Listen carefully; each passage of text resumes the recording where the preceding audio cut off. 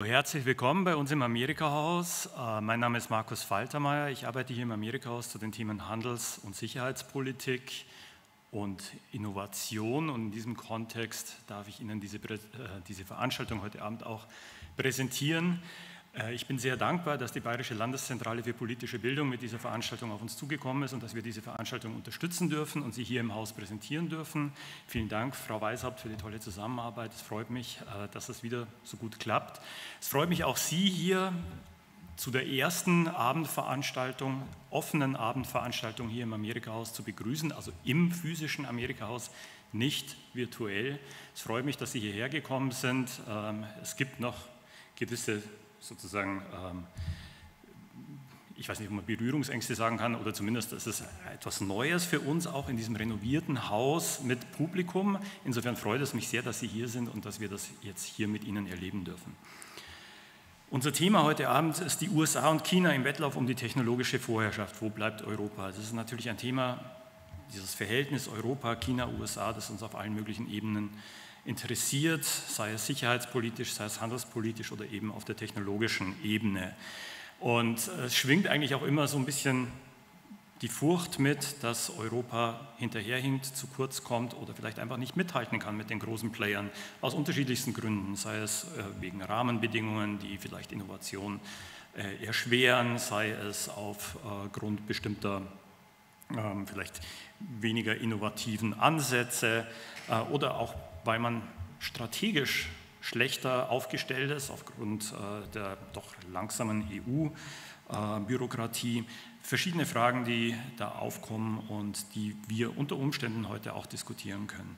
Es freut mich, dass Sie da sind. Bevor ich jetzt äh, weiter lange Reden schwinge, darf ich gleich das Wort an Herrn Grübel, den Direktor von der Landeszentrale für politische Bildung, übergeben. Es freut mich, dass Sie da sind. Ich wünsche Ihnen einen schönen Abend. Der Abend wird übrigens auch live gestreamt. Sollten Sie Fragen an unser Podium stellen wollen, dann können Sie das über folgende App. Sie finden da drüben die äh, Login-Daten.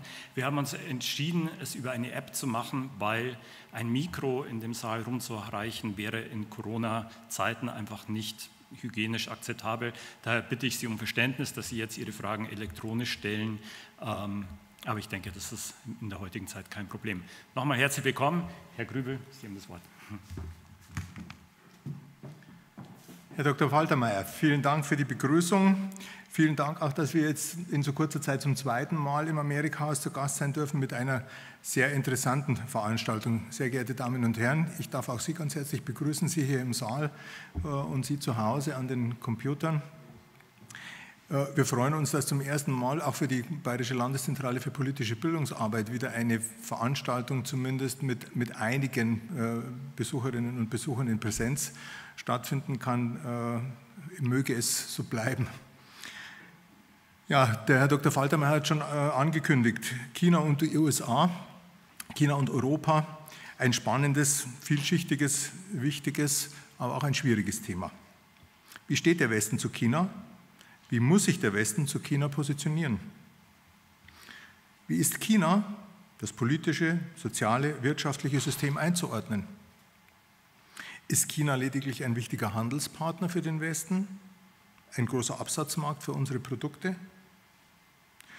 Muss China als ökonomischer Konkurrent, als politischer, gar militärischer Gegner betrachtet werden?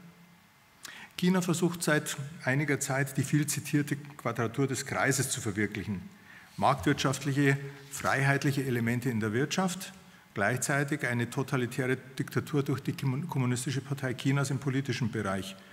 Ich darf hier nur beispielhaft nennen systematische Menschenrechtsverletzungen, Umgang mit Minderheiten, zum Beispiel den Uiguren, keine Pressefreiheit, offene Vertragsverletzungen in Hongkong, das ungeklärte Taiwan-Problem. China agiert weltweit. Das Schlagwort ist hier die neue Seidenstraße und versucht sich nicht nur in Europa, ich nenne hier den Hafen von Piräus, sondern auch in Afrika zu positionieren. Dort sogar ganze Regierungen, Staaten langfristig von sich abhängig zu machen. Technikspionage gefährdet westliches Know-how. Und gerade vor einer Woche, als hätten wir es geahnt, als wir dieses Thema äh, platziert haben, gerade vor einer Woche hat die NATO China als Opponenten definiert und ich glaube nicht ohne Grund. Viele Fragen, auf die die heutige Veranstaltung hoffentlich interessante Antworten und Anregungen gibt. Ich freue mich, Ihnen unseren Referenten vorstellen zu dürfen. Leider hat Frau Professor Schie-Kupfer, die wir ursprünglich für den Einführungsvortrag eingeladen hatten, nun doch nicht persönlich anwesend sein können und eine virtuelle Zuschaltung von zwei Referentinnen wäre in der Tat schwierig gewesen. Deshalb freue ich mich sehr, dass wir mit Herrn Professor Taube einen so hochkarätigen Ersatz gefunden haben. Herr Professor Taube hat sich dankenswerterweise erklärt, sehr kurzfristig äh, den Vortrag zu übernehmen. Ich möchte Ihnen äh, unseren Vortrag noch ganz kurz vorstellen. Herr Professor Taube ist Inhaber des Lehrstuhls für Ostasienwirtschaft und China an der Mercator School of Business. Er ist Direktor des Instituts für Ostasienwissenschaften. Er ist Gastprofessor an verschiedenen Universitäten in Italien und vor allem in China. Er übt Beratertätigkeiten für die Bundesregierung aus. Seine wissenschaftliche Laufbahn hat er begonnen an der Universität Trier und der Universität Wuhan in der Volksrepublik China, wo er Sinologie und Wirtschaft studiert hat. Er hat promoviert an der Ruhr-Universität in Bochum, bevor in seinen Weg an die Universität Duisburg-Essen führte, war er noch Mitglied am IFO-Institut für Wirtschaftsforschung hier in München. Ich darf Herrn Professor Taube ganz herzlich begrüßen und mich bei ihm bedanken und wünsche Ihnen und Ihnen zu Hause viel naja, Vergnügen. Wir werden sehen, viel Unterhaltung und viel Information durch den heutigen Abend. Vielen Dank.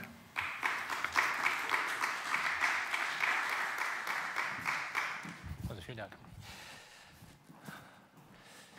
Oh.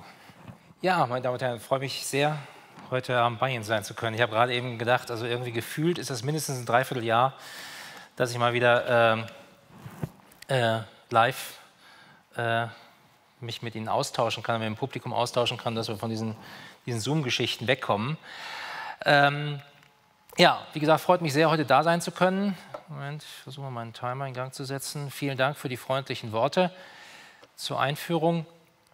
Ähm, ja, es ist mit Sicherheit ein sehr, sehr spannendes und äh, sehr wichtiges Thema, über das wir heute Abend sprechen.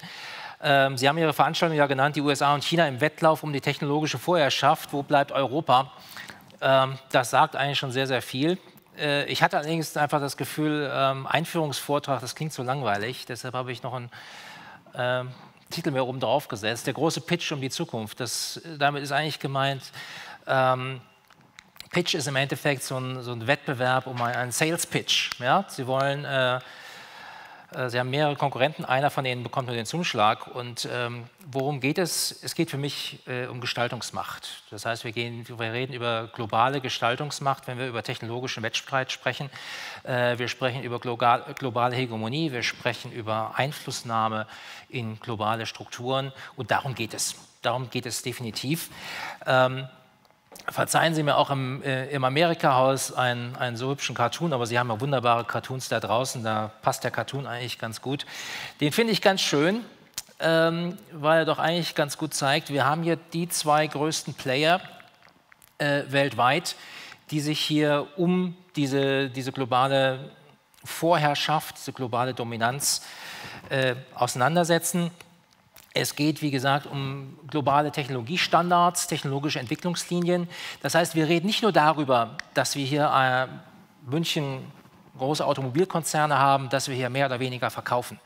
Ähm, es geht nicht darum, wer das, das neuere Modell auf den Markt bringt. Es geht im Endeffekt darum, dass wir technologische Entwicklungslinien aufsetzen, die dann langfristig Vorherrschaft in bestimmten Märkten garantieren und dann Folgeaufträge, Folgegeschäft etc. Das heißt, äh, die, die zum Beispiel eben deutsche Vorherrschaft in bestimmten Technologiegebieten ist im Endeffekt das Ergebnis von technologischer Innovation, von der, dem Besitz von Patentfamilien, die über Jahre und Jahrzehnte hinweg wirken. Ja? Das heißt, die technologische Führungsstellung, die, die, die, Deutschland momentan hat, basiert auf Patenten, die entwickelt worden sind vor Jahren und Jahrzehnten. Und wir befinden uns momentan definitiv in einer Schlüsselphase. Wir befinden uns in einer Phase, wo neue Technologien ähm, plötzlich disruptiv auftauchen und umgesetzt werden. Wir finden, befinden uns jetzt gerade erst im Rollout der gesamten digitalen Technologien. Wir befinden uns am Anfang des Rollouts von künstlicher Intelligenz. Und äh, die Frage ist, inwiefern wir hier dann eben immer noch die Patentfamilien beherrschen. oder inwiefern eben andere Player das tun. Und ähm, ähm, es geht momentan offensichtlich primär um äh, die USA und China, die hier führend vorbei sind. Äh, globale Ordnungsstrukturen ist eben bereits angesprochen worden, die neue Seidenstraße, die die chinesische Regierung aufgesetzt hat, die allerdings ja aber auch ein, äh, äh, ähm, ein Gegenstück seitens Europa erfahren hat über die Konnektivitätsstrategie, dem fehlt einfach ein bisschen Substanz. Nicht? Wir haben durchaus Ideen, um uns hier gegenzustellen, komplementäre, alternative äh, Strukturen aufzubauen und ähm, hier mitzuwirken. Ähm, aber ich denke, das können wir nachher in der Diskussion noch ein bisschen weiter vertiefen, was hier passiert. Also, wie gesagt, es geht im Endeffekt um Einfluss, Kontrolle ähm, über die technologischen Entwicklungslinien, über globale Ordnungsstrukturen, Sicherung einer führenden Rolle von den eigenen Unternehmen im globalen Zirkus. Und das wird heute entschieden. Die Frage stellt sich natürlich, weshalb heute? Nicht? Äh, China ist seit 40 Jahren eine der dynamisch wachsendsten Regionen der Welt. Und wieso haben wir jetzt diesen Cut? Wieso läuft das, was über 30, 40 Jahre doch im Endeffekt als eine relativ harmonische Win-Win-Win-Partnerschaft gesehen haben, plötzlich dermaßen aus dem Ruder und haben wir jetzt diese Konflikte. Ich denke, wir sind jetzt einfach erneut an einer Threshold-Linie angekommen.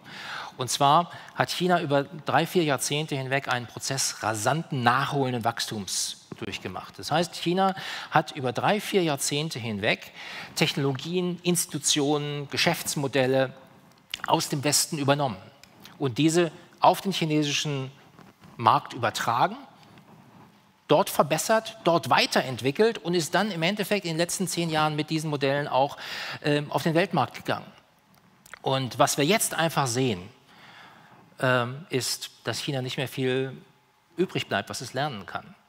Das heißt, China hat innerhalb von 40 Jahren, in Zeitraffer, über 100 Jahre technologische Entwicklung, Gesellschaft, ne, eher technologische Entwicklung in der westlichen Welt durchgemacht und uns faktisch eingeholt. Und die Frage ist jetzt, ob uns China überholen kann. Ja? Und dieses Überholen, das ist jetzt genau der Punkt, über den wir sprechen.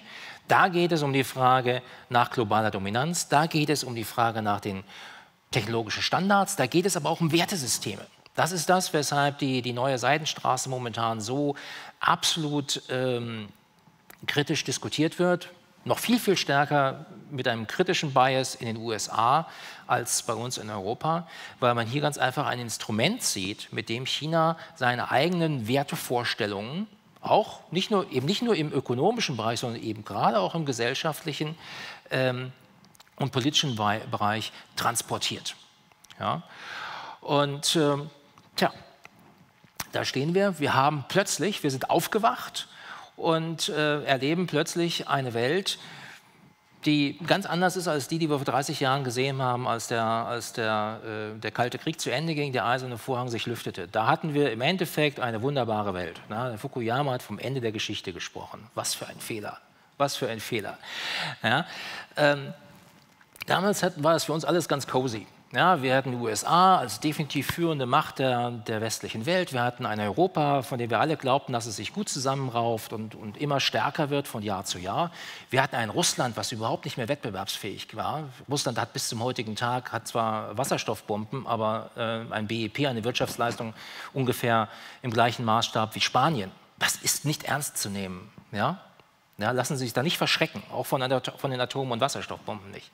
Und wir hatten ein China, was extrem schwach war was viel Potenzial bot, aber wir hatten unsere Doktrin, unsere Idee, Wandel durch Handel. Wir, wir, handeln, wir, wir, wir betreiben Handel, intensive Wirtschaftskooperation mit China und das ist eine tolle Sache. Wir gewinnen, die Chinesen gewinnen und nach dem Credo von Wandel durch Handel, umso mehr wir mit China Handel treiben, umso mehr wird China so werden wie wir. Ja? China wird einfach das, was wir ihm vormachen, übernehmen, weil es erkennen muss, dass unsere Institutionen, dass unsere Unternehmen, unsere Art und Weise, Gesellschaft und Wirtschaft zu organisieren, einfach leistungsfähiger sind. Nun, das hat auch eine ganze Zeit lang so geklappt. Nur müssen wir einfach sehen, seit fünf, sechs, sieben Jahren ist das definitiv nicht mehr der Fall. China hat mittlerweile ein, ein sehr leistungsfähiges, starkes eigenes System aufgebaut und unsere Ordnungstheoretiker sind ja durchaus am, am, sich wundern, was denn da passiert ist. Wie kann dieses System so leistungsfähig sein, so innovativ sein, obwohl es eben nicht diese Pluralität aufrechterhält, wie wir sie in unseren äh, philosophisch-gesellschaftspolitischen Modellen uns vorstellen. Ja? Und das ist die Herausforderung. Das ist die neue Herausforderung. Und es ist im Endeffekt eine ganz andere Qualität als das, was in den 1990er Jahren zusammengebrochen ist. Wir haben momentan eine Qualität, wo wir drei große ökonomische Zentren haben. Europa, USA, China. Und es sind gleichzeitig die stärksten und leistungsfähigsten Volkswirtschaften der Erde. Ja, die sind momentan im Crashkurs aufeinander äh, sich zubewegend und die Frage ist, wie wir das überwinden können. Aber schauen wir erstmal einfach, wo wir, wo wir überhaupt stehen. Ähm, ich möchte momentan einfach auf Innovation fokussieren, weil für mich Innovation ist das, was die Zukunft entscheiden wird. Die Innovationsstrukturen, die wir haben, sind das, wird, ist das, was entscheidet, wo wir in den nächsten Jahren stehen werden. Das sind die ähm, Global Innovation Index Rankings, die aktuellen, die wir hier haben. Und Sie sehen, die USA sind ziemlich weit vorne. Dann haben wir Deutschland auf Rang 9, China aber schon auf Rang 14. Ja, also im, im globalen äh, Innovationsranking, und das ist sehr breites, ein sehr holistisches Ranking, was hier aufgebaut wird, da wird, schaut man sich ganz, ganz viele Parameter an. Und das ist also keine Schmalspurgeschichte, sondern da schaut man sich wirklich die gesamte Volkswirtschaft an, das gesamte Innovationssystem und auch da kommt China sehr, sehr weit vorne weg. Und wir sehen ganz einfach, China ist seiner eigenen Entwicklung sehr, sehr weit voraus. Ähm, Sie sehen, ups. Sehen Sie es so? Nein, sieht man nicht. Ähm, ich, kann ich bräuchte immer so ein Laserschwert, ich kann das nicht so richtig sehen. Da, da haben wir China, ja? So, ähm, der, der Mittelwert wäre eigentlich, dass China auf der Basis seines, seiner Wirtschaftsleistung pro Kopf müsste China eigentlich da unten sein. Da würden wir China suchen. Stattdessen ist es viel, viel höher auf einem Niveau, was im Rest der Welt nur erreicht wird von Volkswirtschaften, die eine sehr, sehr viel höhere Wirtschaftsleistung haben. Ja, sie sehr, sehr, insgesamt sehr viel weiter fortgeschritten sind. Das heißt, wir haben hier eine Volkswirtschaft, die offensichtlich vor ihrer Zeit sich äh, auf den Innovationszug gesetzt hat und hier sehr, sehr erfolgreich aktiv ist. Das sehen wir auch hier. Ähm, Sie sehen, ups, ich muss, ich muss mal da, da wir China, ja, was Sie hier abgetragen sehen, ist der Input im Innovationssystem, hier der Output. Da sehen Sie, hier, das sind alle diese europäischen Staaten. Ja? Die haben den gleichen Output, aber bei mehr Input. Ja?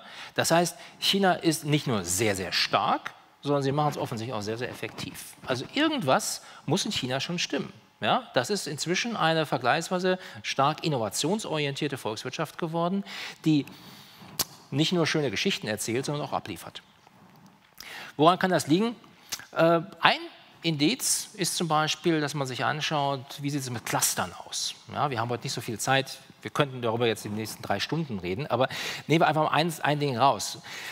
Cluster, das ist also Industrieagglomeration oder äh, Zentren, wo sich Industrie, Universitäten, Forschungseinrichtungen treffen von einer wohlwollenden Regierung akkommodiert. Das sind die Brutstätten von neuer Technologie, das sind die Brutstätten von, von Innovation. Und was wir sehen, ist, dass in die Top 25, da ist China nicht schlecht vertreten. Ja?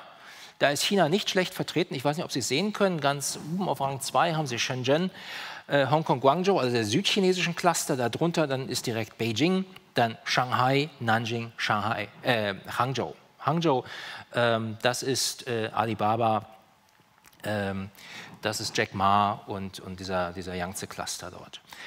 So, wo haben wir die USA? Wow, das ist eine Hausnummer.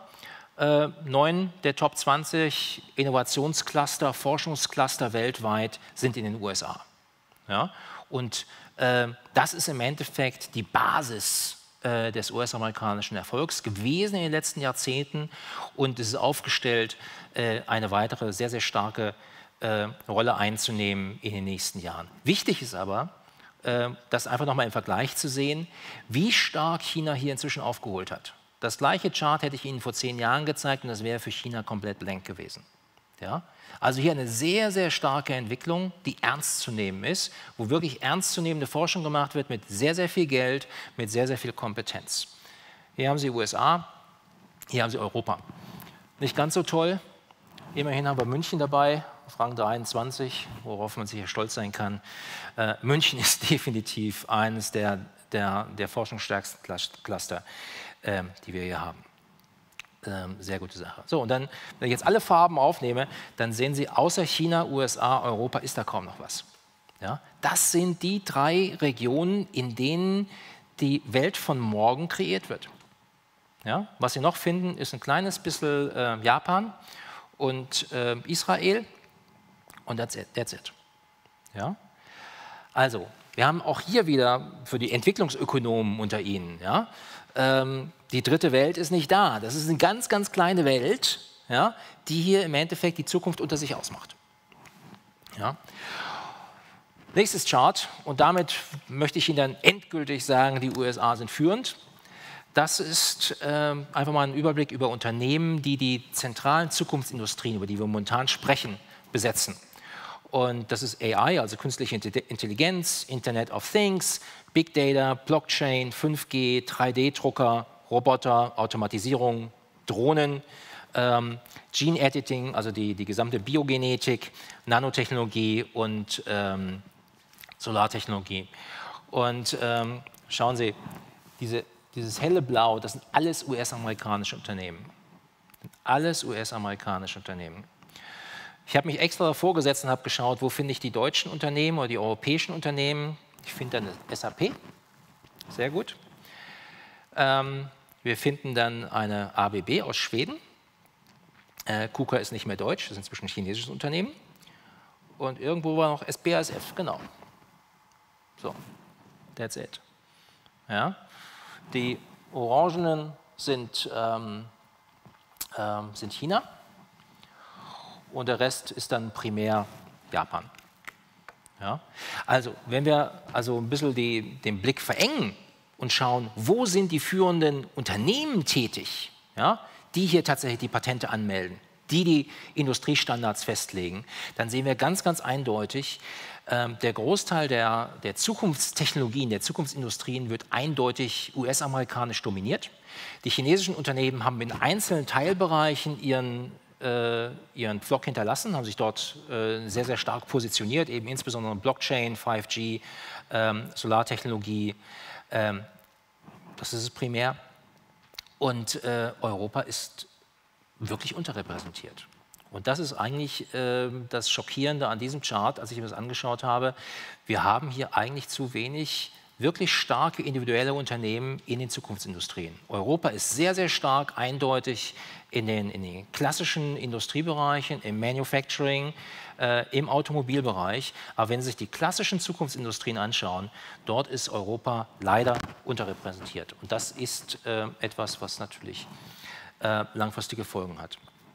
Springen wir von dem einfach jetzt mal auf die drei, drei Volkswirtschaften rüber und schauen uns an, was da passiert. Das ist ähm, direkt aus dem chinesischen Fünfjahresplan. Dem aktuellen 14. Fünfjahresplan gilt ab, äh, ab diesem Jahr.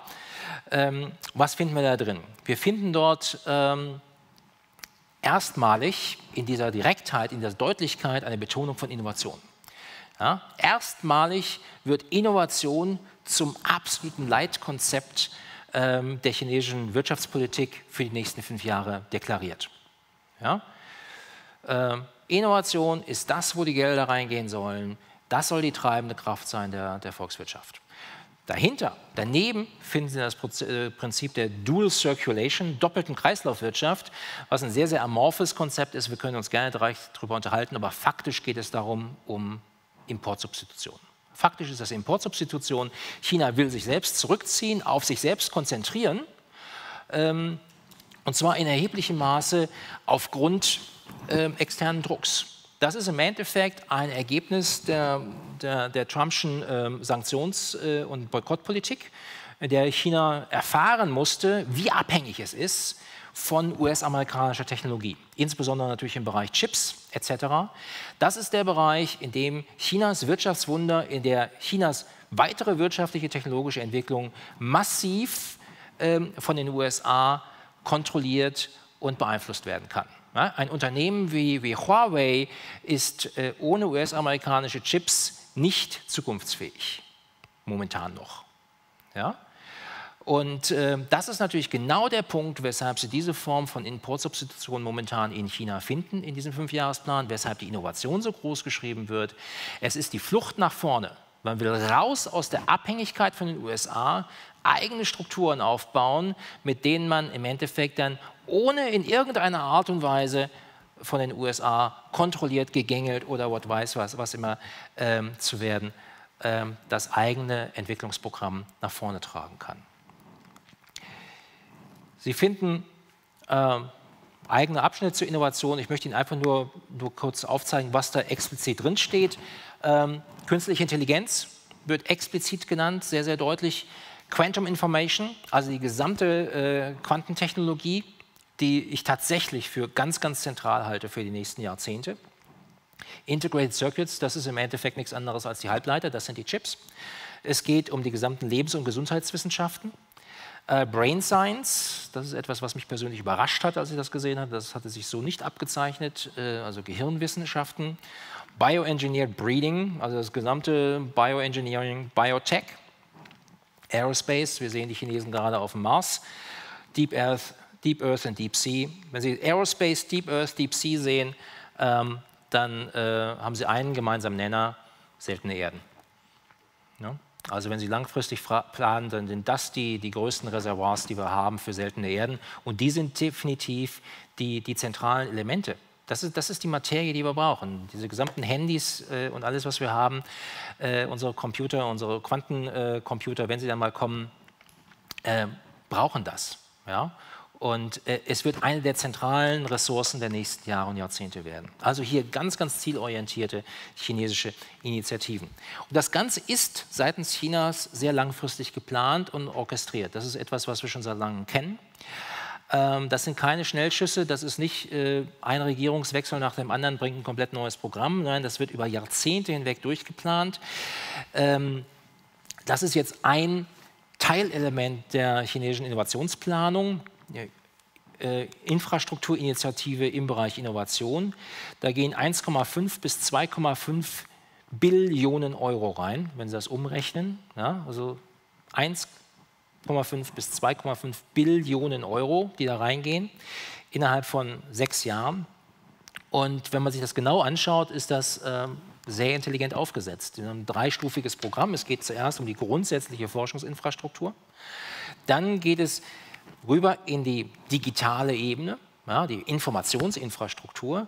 Und dann die dritte Ebene ist direkt die Applikation, die Umsetzung. Ja, die Umsetzung in Geschäftsmodelle. Das ist also keine Lar-Polar, ja, keine Kunst für sich selber, sondern das ist alles im Endeffekt anwendungsorientiert. Es fängt sehr, sehr klar mit, mit Grundlagenforschung an ja, und geht dann aber zielgerichtet mit eindeutigem Fokus auf die Anwendung. Ja, und ähm, das halte ich für sehr, sehr spannend und etwas, ähm, was man durchaus ähm, beachten und von dem man lernen kann. Spannend ist, und das ist vielleicht etwas, was, was für Sie nicht, nicht, nicht allzu, allzu präsent ist, weil das in den Medien nicht unbedingt immer auftaucht. Ähm, die chinesische Regierung und die zentralen chinesischen Player haben inzwischen erkannt, äh, dieser gesamte Innovationsdrive, die Initiative funktioniert nicht ohne privates Unternehmertum. Ja? Wir sehen hier also grundlegende Veränderungen, zum Beispiel im Bereich Wagniskapital, ja? Venture Capital, Private Equity, was wir alles da haben. Ja? Bereiche, in denen die USA extrem stark sind, in denen China bis vor wenigen Jahren überhaupt kein Player war, in denen Europa auch nicht super stark aufgestellt ist. Hier sehen wir plötzlich riesige Initiativen, wo der Staat sich engagiert und hier etwas macht, was er vorher nie gemacht hat. Er poolt staatliche und private Ressourcen, Gelder, und verteilt sie an private und staatliche Unternehmen. Ja? Das heißt, im Endeffekt ist da tatsächlich so ein, so ein Wettbewerb aufgestellt worden, in dem Privatunternehmen genauso partizipieren können wie staatliche Unternehmen. Und das, das hatten wir lange Zeit gar nicht so. Nicht? Wenn Sie sich die, die National Teams anschauen für die Entwicklung der künstlichen Intelligenz in China, dann ist das natürlich unter der Plattform des Ministry of Science and Technology, des, des Forschungsministeriums äh, der VR China. Aber die 15 Unternehmen, die die Teilbereiche koordinieren, organisieren, die die Teilbereiche führen, in denen hier KI weiterentwickelt wird, das sind alles private Unternehmen. Ja, alles private Unternehmen, die das übernommen haben und das leiten. Ja, für Alibaba führt die Entwicklungsplattform zu KI für Smart Cities. Baidu ist verantwortlich für autonomes Fahren. Tencent im Gesundheitssektor, iFlyTech, Spracherkennung, SenseTime, äh, Bilderkennung. Dann haben wir noch zehn weiteren in weiteren spezifischen Bereichen. Ja? Also äh, da, die Idee, dass China so, so monolithisch, zentral und durchstrukturiert äh, sei, ist falsch. Ja? Wir haben eine ganze Menge an Akteuren da, die, die hier aktiv sind. Und äh, ich will jetzt nicht sagen, dass hier jetzt der, die, die Privatwirtschaft im, in China im, im, im, Aufstreben ist, aber wir sehen hier durchaus eine Abkehr von dieser rein staatszentrierten Fokussierung. Ja? Da ist durchaus ähm, ein kleines bisschen an Vielfalt vorhanden. Und das ist im Zweifel auch absolut notwendig, äh, sonst wird man die selbst gesteckten Ziele nicht erreichen können. Wenn wir uns die USA anschauen, nun, da haben wir den, gerade aktuell den Innovation and Competition Act ähm, von diesem Jahr. Der ist äh, sowohl von den Demokraten als auch von den Republikanern abgesegnet worden. Er wird äh, im Laufe dieses Jahres zum Gesetz werden, endgültig äh, durch sämtliche Gremien durchgehen. Und der ist explizit formuliert, äh, sind zweieinhalbtausend Seiten. Also ich habe es nicht komplett gelesen, aber wenn Sie die zentralen Stellen sich anschauen, er ist explizit formuliert als eine Antwort auf die perzipierte Herausforderung aus China. Ja? Der Innovation Competition Act ist ein, eigentlich ein, eine Antwort auf China, von der ersten bis zur letzten Seite, ja? von den gesamten Programmen, die da drin steht. Es geht um 250 Milliarden US-Dollar, die da reingeworfen werden. Ganz viel geht rein in den Bereich Chips. Hier stärken die USA eine Stärke, die sie bereits haben. Ja? Aus einer sehr starken Position heraus wird hier nochmal massiv Geld hineingeworfen ähm, letztlich um den Abstand noch weiter zu, äh, weiter zu, zu setzen und einfach diese, diese Schlüsseltechnologie, die ja im Endeffekt in, in viele andere reingeht. Ja? Quantentechnologie ist eben angesprochen worden. Da brauchen sie eben auch Chips. Ja? Da geht es darum, äh, hier unangefochten führend zu bleiben. Dann haben sie den Endless Frontier Act, wo dann alles drin ist, was sich äh, der Innovationsforscher Freud äh, äh, gerne hätte. Das ist wie so eine, so eine, Weihnachtswunschliste, die da bedient wird. Ähm, da geht es um die klassischen Technologien, KI, Quanten, Biotechnologie, Robotik, Raumfahrttechnologie, whatever, plus eben die Clusterbildung, ja, also das, das Fördern und Ausbilden von Industrie-, Technologie-Clustern, in denen diese, dieses, diese ganz, ganz fruchtbare Gemengelage sich im Endeffekt entfalten kann. Und dann äh, Science and Technology, also die, die Ausbildung äh, Engineering, Mathematics, STEM ähm, für die Naturwissenschaftler, die Innovatoren ähm, von morgen. Ja. Naja, dann gibt es noch einige Teilbereiche, die haben eine sehr, sehr stark geostrategische äh, Motivation. Da geht es dann eben darum, China zu blockieren. Ja, da geht es um, um, geostrategische Positionierung, unter anderem eben auch im Bereich ähm, der neuen Seidenstraße. Europa, ähm, wenn ich es richtig verstanden habe, haben sich auch Nachmittag schon, schon ausführlich mit, mit ähm, digitalen Aspekten hier auseinandergesetzt. Digital Compass Strategy wollte ich einfach nur mal herausgreifen, ist ein großes Programm, mit dem China, äh, mit dem Europa ähm, in einem Bereich initiativ wird, der, wo man definitiv hinterherhinkt, ja, ähm, wo wir definitiv äh, was machen müssen. Ähm, da geht viel Geld rein, 135 Milliarden ungefähr, mindestens aus dem Recovery and Resilience ähm, äh, Facility Fund plus, plus andere äh, Finanzierungen. Die Frage ist, ob das reicht. Ja, die Frage ist, es reicht. Das ist jetzt ein Programm, was hier aufgesetzt wird, was ich meine, eine Basisstruktur schafft, mit der Europa sich positioniert. Ähm, aber wenn Sie dann genau hinschauen, das richtig große Geld geht momentan in den europäischen Green, Green New Deal. Ja? Äh, das heißt, wir, wir geben hier richtig, richtig, richtig viel Geld rein in eine Ausrichtung unserer Volkswirtschaft, unserer Gesellschaft, in ein neues ökologisches Gesellschaftsmodell. Ja? Das heißt, wir legen eindeutig den Fokus nicht auf einen direkten Wettbewerb mit China und USA auf der europäischen Ebene, sondern wir legen den Fokus darauf zu sagen, wir sind der Vorreiter. Wir schaffen die ökologische Wende, wir schaffen ein, ein ökologisch nachhaltiges Gesellschaftsmodell. Und das ist eine Wahlentscheidung, die wir treffen. Und das ist mit Sicherheit auch eine gute Wahlentscheidung. Aber hier werden natürlich auch in erheblichem Maße Ressourcen absorbiert, die ähm, im Bereich, in anderen Bereichen fehlen werden. Ja, ich habe mit Freude verfolgt in den letzten, letzten Tagen, wie ähm, die europäische und gerade deutsche Initiativen ähm, sich jetzt Bahn brechen im Bereich der, der Quantencomputer, der Quantentechnologie. Ähm, eine ganz, ganz wichtige Ebene. Ähm, und wenn wir schaffen, hier einen Fuß in der Tür zu haben, dann ist das viel wert. Aber wir müssen uns auch bewusst sein, das ist, deshalb möchte ich diesen, diesen Punkt hier einfach machen. Dieser Green New Deal wird in erheblichem Maße Ressourcen binden in Europa. Ja, mit Sicherheit für ein sehr, sehr hehres und gutes Ziel. Aber wir müssen noch schauen, dass wir die Balance halten in anderen Innovationsbereichen. Ja, und äh, gerade im Bereich der digitalen äh, äh, Industrien haben wir viel, viel nachzuholen. Wer wird die Zukunft gestalten? Meines Erachtens äh, ist die USA definitiv in der Pool Position. Ja, sie sind definitiv am besten positioniert. Ähm, die, man darf allerdings auf keinen Fall äh, unterschätzen, mit welcher Dynamik China momentan herangeht.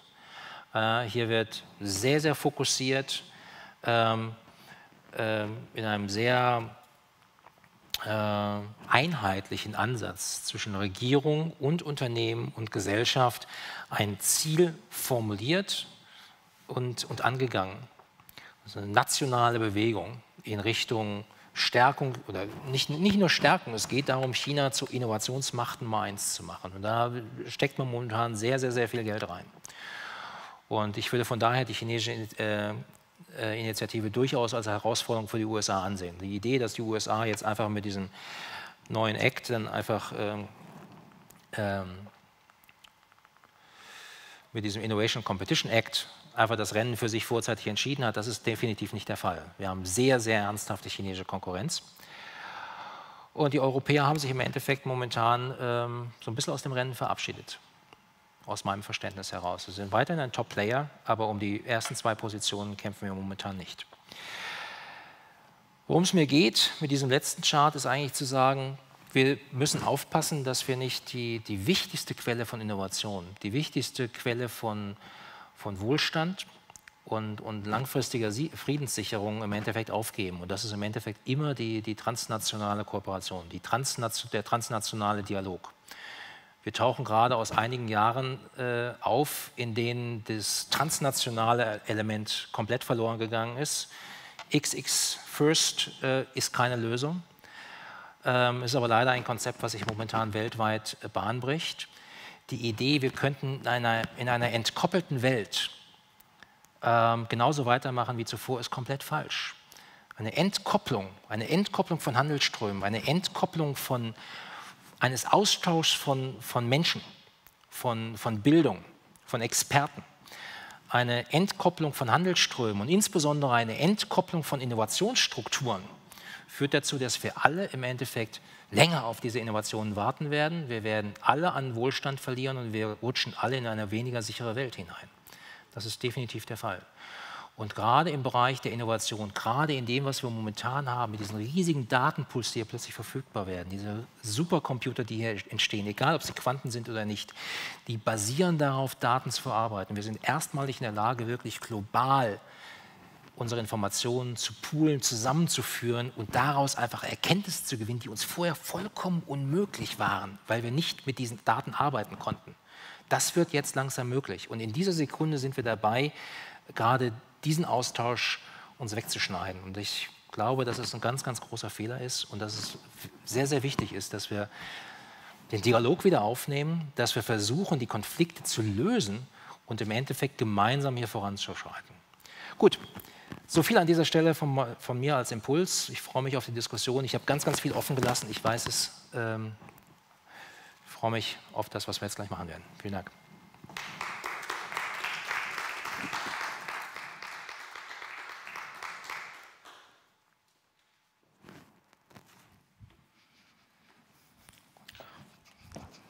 Ich nehme sie gleich mit. Frau Jan kommt auch hoch. Bitte schön.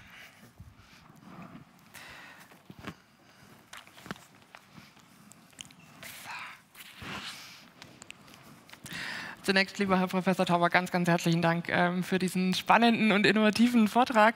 Äh, ich hätte Ihnen noch äh, länger zuhören können, aber Sie haben äh, brav die Zeit eingehalten, die wir vorgegeben haben. Ähm, sehr geehrte Damen und Herren im Saal, liebe Zuschauerinnen und Zuschauer zu Hause, wenn Sie unser Programm aufmerksam gelesen haben, dann sehen Sie hier schon die zweite Änderung. Ähm, eigentlich sollte hier mein Kollege Alexander Müller sitzen, der ist leider krank, deswegen habe ich spontan die Vertretung übernommen. Und äh, ich hoffe, Sie sehen es mir nach, es ist nicht mein Spezialthema, aber dafür kann ich authentisch äh, wirklich interessierte Fragen stellen, weil ich wenig weiß. Ähm, und Sie sind ganz herzlich eingeladen, mich zu unterstützen äh, bei dieser Fragenstellerei, nämlich über das Online-Tool Slido. Ähm, und zwar können Sie da, Sie müssen keine App installieren oder irgendwas, Sie können einfach äh, über Ihren Browser slido.com eingeben und dann äh, müssen Sie einen Code nennen, der heißt ähm, China21, alles klein, alles zusammen. Und dann können Sie erstens ähm, Ihre eigenen Fragen formulieren und Sie können aber auch zweitens die Fragen der anderen Nutzerinnen und Nutzer nach oben oder nach unten wählen, sodass ich dann hier auf meinem Tablet Ihre wichtigsten Fragen äh, in die Runde einspeisen kann. Genau. Äh, das Thema unserer Veranstaltung, die USA, China und Europa, ist ja sehr, sehr, sehr weit, dieses Feld. Deswegen ähm, werden wir versuchen, uns zu fokussieren auf ähm, zwei oder drei große Oberthemen. Ähm, und zwar einmal, und damit, das meine ich auch, dass Sie sich vielleicht auch bei Ihren Fragen auf diese Oberthemen ähm, fokussieren, deswegen nenne ich sie Ihnen schon mal. Einmal würde ich gern äh, besprechen mit unseren Gästen äh, die unterschiedlichen gesellschaftlichen Haltungen gegenüber Technologie und auch Unterschiede in der Technologiepolitik.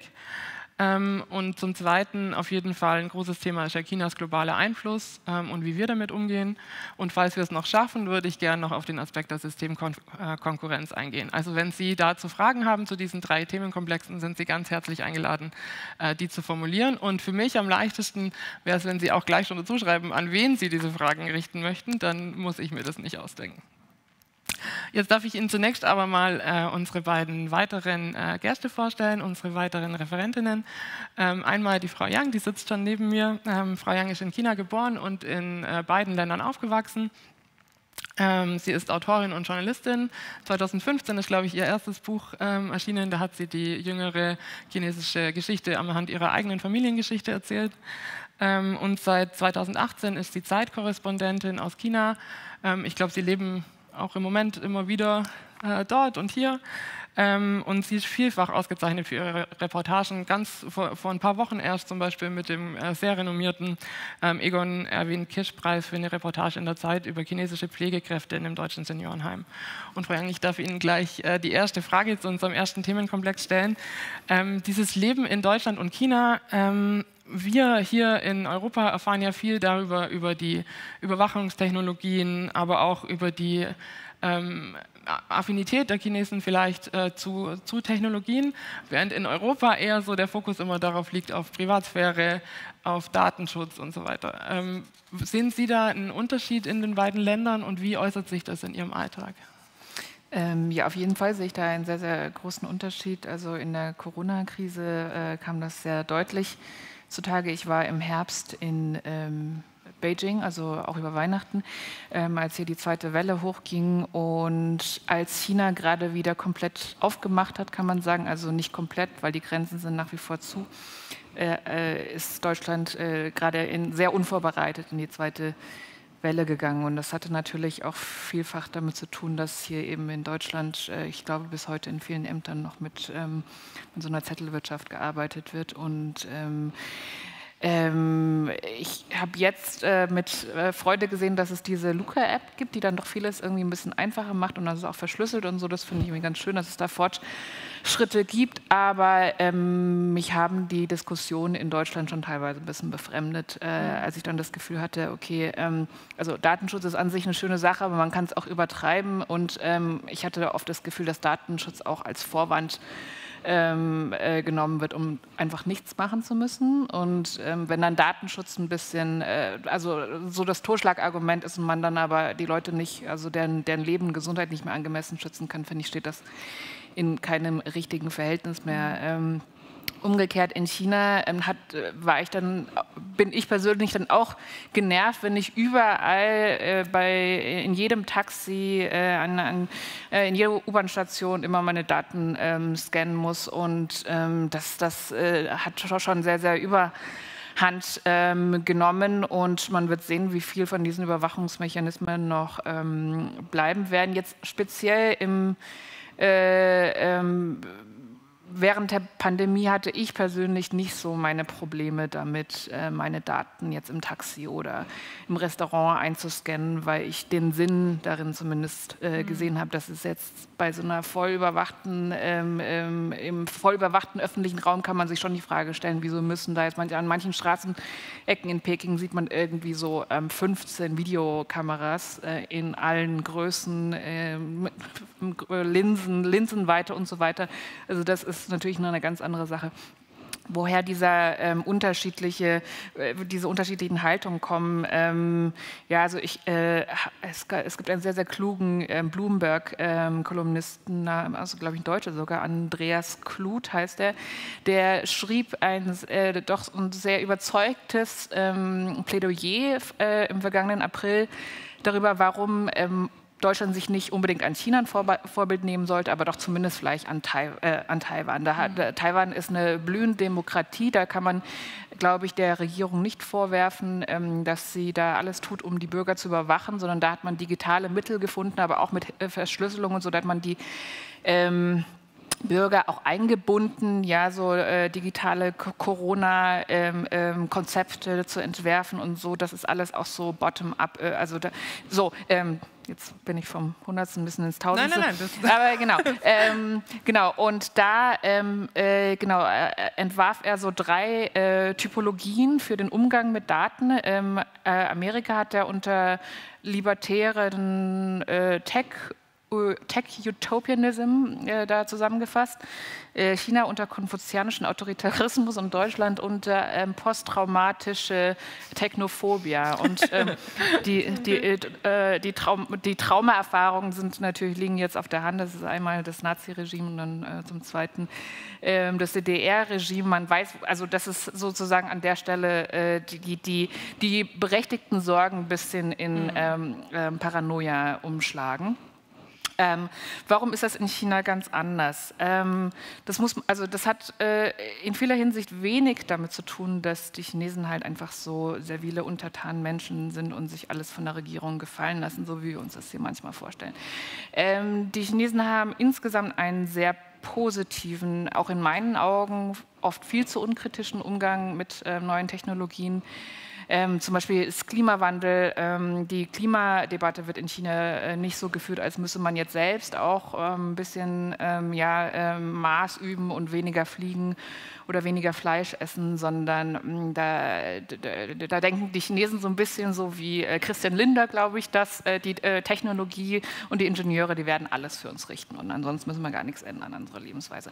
Ähm, woher kommt so, und, und äh, dann gibt es ähm, ähm, in China blüht gerade die Science-Fiction-Literatur, ja, und da ähm, gibt es auch ähm, Autoren, die jetzt im Westen sehr bekannt sind, zum Beispiel Liu Cixin, ja, und die entwerfen dann äh, ja, so, so Sonnenspiegel, äh, die dann die Welt retten können und solche Sachen. Und das ist halt eben sehr, sehr stark in der Popkultur zurzeit. Aber woher so dieser, dieser positive Blick auf ähm, Technologie ähm, in weiten Teilen der Gesellschaft herkommt, ist, ähm, ähm, viele Chinesen kennen Technologie nicht anders, als dass es ihr Leben verbessert hätte. Mhm. Also ja, also gerade ähm, wenn wir zum Beispiel Mobile Payment nehmen, was in Deutschland immer noch ein Thema ist. Also ich kenne also ich auch persönlich noch Leute, die ähm, sagen, ich zahle nur bar und so, weil ich möchte nicht mhm. mal mit der EC-Karte und Kreditkarte und, und Apple Pay schon gar nicht und so. Aber in China war das ja bis vor kurzem so, dass hunderte Millionen ähm, Bauern auf dem Land, die hatten nicht mal ein Bankkonto, ja, die, die kennen nur diese zerfledderten Yuan-Scheine.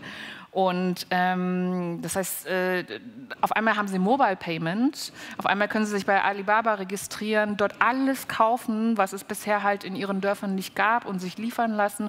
Auf einmal können sie dort auch auf Alibaba alles verkaufen mhm. ähm, ähm, äh, und können da irgendwie Zwischenhändler ähm, und so überspringen. Ähm, dann kann man auf Alibaba als als normaler Unternehmer auf dem Land oder als normaler Bauer, ähm, auch so, so Ein-Mann-Unternehmen so, da kann man innerhalb von Minuten Mikrokredite Kredite, äh, beantragen und kriegt da wirklich innerhalb von Sekunden äh, sein Geld. Und ähm, für normale Chinesen ist es eben sehr, sehr schwierig, zu staatlichen Banken zu gehen und Kredite mhm. zu beantragen. Ja. Also wir kennen das nur als Verbesserung. Ähm, dann, ähm, also der Lebensalltag in China ist inzwischen wirklich extrem bequem. Natürlich werden da auch viele Leute ausgebeutet und ähm, man hat da ähm, ähnlich wie hier eben die Kuriere, die ähm, da auch gegen, gegen die Arbeitsbedingungen aufbegehren und so. Aber sagen wir mal, für den normalen Mittelschichtschinesen, der profitiert da enorm davon. Äh, man kann sich ein Hand, also ich habe eine tolle Handwerker-App in, in Beijing. Ich kann mir jeden Handwerker innerhalb von einer halben Stunde nach Hause bestellen. Okay. Und ähm, ja, ich weiß auch, wie das mit den Handwerkern hier ist in München zurzeit. Und äh, man kann sich man kann sich, ähm, man kann sich äh, jedes Medikament zu jeder Uhrzeit nach Hause liefern lassen. Äh, kann einen Masseur nach Hause bestellen per App. Mhm. Ähm, ich kann alle meine äh, ähm, äh, Rechnungen in der App zahlen und so weiter. Ähm, es ist einfach wahnsinnig, wahnsinnig bequem und es funktioniert sehr, sehr gut. Mhm. Ähm, und der dritte Punkt, weil ich, äh, da gehe ich ein bisschen auf das Thema Überwachung ein, weil ich darüber auch ähm, äh, viel recherchiert habe, das Sozialkreditsystem wird hier in ähm, Deutschland oder in Europa oft als so das äh, dystopische mhm. Überwachungstool schlechthin gesehen. Ja. Und ich äh, stehe diesem Sozialkreditsystem auch sehr, sehr ähm, kritisch gegenüber. Ähm, das hat, natürlich ist es ein Tool äh, zur Disziplinierung der Menschen und zur Kontrolle. Das ist, steht ganz außer Frage. Aber warum wird es in China zum Beispiel trotzdem positiv gesehen? Einfach um die Frage zu beantworten, warum haben die Chinesen, die Chinesen, also warum haben viele Chinesen ähm, gar nicht so viel gegen die staatliche Überwachung? Weil zum Beispiel beim Sozialkreditsystem sind dann viele auch die, ähm, das ist übrigens auch noch gar nicht in Kraft. Also ähm, China, man darf auch das, was China immer äh, propagiert, was es vorhat zu tun, und da können wir auch noch mal über diese Innovationspläne reden, ähm, dass China oft gar nicht richtig delivert, so wie wir es denken, weil China ähm, sprach schon 2000, äh, die, Re die, Regierung sprach 2015 davon, dass Ende 2020 jeder Chinese sein Sozialkreditkonto äh, hat und ähm, das ist bis, bis, heute nicht der Fall. Also ähm, da gibt es wahnsinnig viele Probleme, Datenzusammenführung, ähm, Standards, welche übernehmen wir und so weiter. Aber warum ähm, Chinesen dem Konzept an sich äh, nicht so negativ gegenüberstehen, ist, weil es neben diesem, äh, dis, dieser, äh, diesem Disziplinierungs- und der, dem Kontrollaspekt auch ähm, äh, einen Aspekt gibt, der die Leben der Menschen ver verbessert,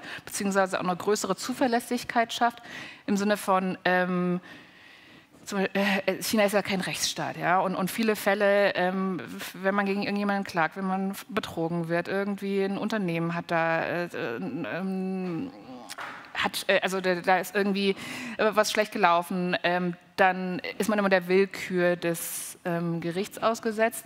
Wenn man sozusagen ein Sozialkreditsystem hat, wo bestimmte Vergehen, Verstöße, Regelverstöße, auch wenn zum Beispiel ein Unternehmen Umweltstandards nicht einhält, dann ist es auf einmal quantifizierbar. Ja? Mhm. Und ähm, das gibt dann so einen Eintrag in der Akte und bei so vielen Einträgen passiert dann dies, wird dann das sanktioniert. Das ähm, schafft für, äh, in den Augen vieler Chinesen auf einmal eine Verlässlichkeit. Das, ähm, das, das ermöglicht ähm, der Regierung sozusagen nachvollziehbar auch ähm, bestimmte Standards und Regeln besser mhm. durchzusetzen, wie es früher nicht möglich war. Ähm, genau, das nur mal so ein paar Aspekte dazu, warum Technologie und auch ähm, Überwachung in China vielleicht ähm, ein bisschen weniger, also hm. schrecklich äh, gesehen wird als hier. Ja.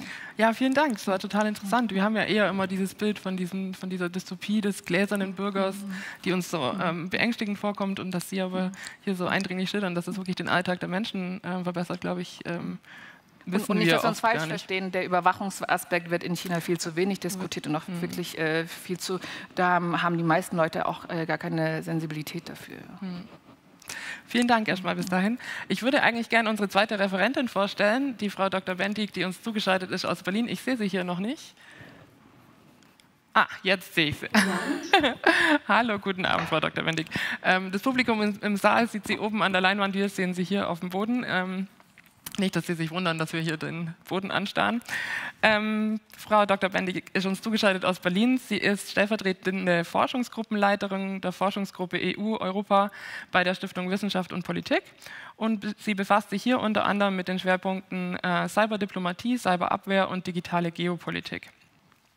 Sie ist eine ausgewiesene Expertin auf dem Gebiet und sie hat auch viele Texte zu aktuellen Entwicklungen ähm, veröffentlicht. Ich darf Sie alle ganz herzlich einladen, sich mal auf der Homepage umzuschauen und Ihnen vielleicht nur ein, äh, einen Aufsatz empfehlen, der genau zu unserem äh, Thema passt. Und zwar lautet der Die Europäische Union im Spannungsfeld der sino-amerikanischen Rivalität. Und der ist erschienen in dem Sammelband Strategische Rivalität zwischen USA und China. Das ist von 2020. Schön, dass Sie da sind, Frau Dr. Bendig. Ich freue mich auf das Gespräch mit Ihnen. Ähm, Sie konnten ja hoffentlich den Vortrag vom Herrn Dr. Äh, Professor Taube äh, verfolgen, oder? Ja. Er hat, ähm, da ist ja da ist ja ganz deutlich geworden, äh, gerade auch am Schluss nochmal, dass Europa ähm, den USA und China stark hinterherhinkt. Ähm, aus Ihrer Sicht, ähm, wie schätzen Sie denn die Situation ein? Haben wir den Anschluss schon verpasst? Ähm, Sie haben gerade vorher äh, zitiert, dass äh, Deutschland, glaube ich, äh, posttraumatische ähm, Digital... ich habe ehrlich gesagt zuerst mal an äh, unserem Umgang mit der Pandemie gedacht und wie wir alle irgendwie völlig schockiert vor nicht vorhandenen Laptops saßen und versucht haben, Telekonferenzen einzuführen. Ähm, wie schätzen Sie denn aus Ihrer Sichtweise unser, unsere, die europäische Strategie ein? Ja, guten Abend erstmal und vielen Dank für die Einladung. Äh, es freut mich, hier zumindest ähm, online bei der Diskussion mitwirken zu können. Ich als Sozialwissenschaftlerin ähm, habe natürlich mit äh, großem Interesse auch äh, den Vortrag von Herrn Taube äh, gehört und verfolgt und fand auch jetzt gerade noch mal sehr interessant ähm, die, die Einlassung von Frau Yang in Bezug auf ähm, Chinas Rolle und äh, Chinas Innovationskraft. Ähm, ich teile das, ich bin keine China-Expertin. Ich war ähm, zweimal in China und äh, habe dort das Vergnügen gehabt, an einer sozialwissenschaftlichen Konferenz teilzunehmen. Wir haben einen Kooperationspartner in Shanghai. Und ähm, was ich schon sagen muss, ist, wenn wir schon vergleichen, ähm, dann müssen wir natürlich auch auf den richtigen Ebenen vergleichen. Ähm, was wir sehen, ist eine wachsende strategische Rivalität zwischen USA und China, die ganz klassische Machtpolitik äh, betreiben ähm, große Akteure sind äh, mit einer großen Volkswirtschaft ähm, und dazu im Vergleich die Europäische Union. Natürlich auch mit dem größten Binnenmarkt äh, weltweit, mit circa 500 Millionen Bürger und Bürgerinnen, die sich hier für diesen europäischen Lebensweg, äh, der sehr inklusiv ist in der politischen Willensbildung, ähm, entschieden haben und in einer politischen Form einer Rechtsgemeinschaft. Und diese Rechtsgemeinschaft ist dabei, eine politische Gemeinschaft zu werden. Und ähm, ich denke, dass wir gut daran tun, auch anzuerkennen, dass die Europäische Union in dem Sinne nur einen dritten Weg gehen kann, äh, insbesondere wenn es ähm, äh, zu, also wenn wir die technologische Entwicklung betrachten und die Innovationskraft, die aus Europa kommt, weil wir hier eben 27 Mitgliedstaaten und weitere europäische Staaten, die in Europa eben sind, ähm, in diesen Wirtschaftsraum integrieren wollen und in diesem Wirtschaftsraum gemeinsame Standards und Regeln entwickeln. Und dahinter natürlich diese Idee, dass Technik, ähm, Technologie nicht neutral ist, sondern eben, dass mit Technologie und mit dem Einsatz von Technologie auch ein Wertesystem verbunden ist, das transferiert wird und womit Gesellschaft sich eben auch wandelt ähm, in verschiedenen Dimensionen. Im Bereich von Freiheitsrechten, im Bereich der Sicherheit, im Bereich der Wohlfahrt oder im Bereich der Nachhaltigkeit. Und ähm, deshalb die Europäische Union wählt hier, wie ich sagte, diesen inklusiven Ansatz. Das heißt, wir wir haben verschiedene Stakeholder und ich nehme jetzt beispielsweise jüngst die KI-Regulierung. Das trifft aber auch für Datenschutzgrundverordnung in der Vergangenheit zu. Das trifft auch ähm, für den Bereich Cybersicherheit zu. Zertifizierung ist hier das äh, Stichwort. Oder aber auch ähm, bei der Entwicklung von Schlüsseltechnologien, dass wir verschiedene Stimmen hören und die mit ihren Meinungen und ihre Positionen in diese gemeinsame Regulierung einbinden. Das ist ein unglaublich wahnsinnig aufwendiger Prozess der Entscheidungsfindung, der sehr inklusiv ist, aber möglicherweise leider auch manchmal eben auf Kosten der Schnelligkeit geht und daher eben auch der Eindruck, dass Europa sehr schnell und äh, oft immer hinterherhängt. Aber ich würde trotzdem auch im Vergleich diesen Weg ähm, als erfolgreich äh, beschreiben. Und ich glaube, dass die Datenschutzgrundverordnung hier ein ganz gutes Beispiel dafür ist, weil sie natürlich versucht, ähm, Privatheitsrechte, ähm, Eigentumsrechte über äh, persönliche Daten bei dem Bürger und bei der Bürgerin zu lassen und, und versucht das eben in eine europäische Gesetzgebung mit Prinzipien ähm, runterzubrechen, Datenminimierung, Anonymität, Verschlüsselung, das sind so eben die, die Stichwörter, die, wo man versucht, wirklich ähm, ein europäisches Gesellschaftsmodell in Gesetze ähm, zu gießen. Und das ist, ähm, ich glaube, sehr honorig, weil wir das eigentlich immer auch als Weg verstanden haben in den letzten 60 Jahren, 70 Jahren, äh, fast, wo wir den Friedensweg und eine friedliche Integration im europäischen, auf dem europäischen Kontinent zwischen den äh, Völkern Europas hinbekommen haben. Und äh, ich denke, dass dieser Weg ähm, ein Versuch ist, äh, über eine gemeinsame Rechtsgemeinschaft ähm, sich ins Benehmen zu setzen, Konflikte zu überwinden und dieses Modell von friedlicher Koexistenz und friedlicher Integration ähm, auch auf andere Teile der Welt möglicherweise über die Kraft des starken Binnenmarkts ähm, äh, dann zu externalisieren.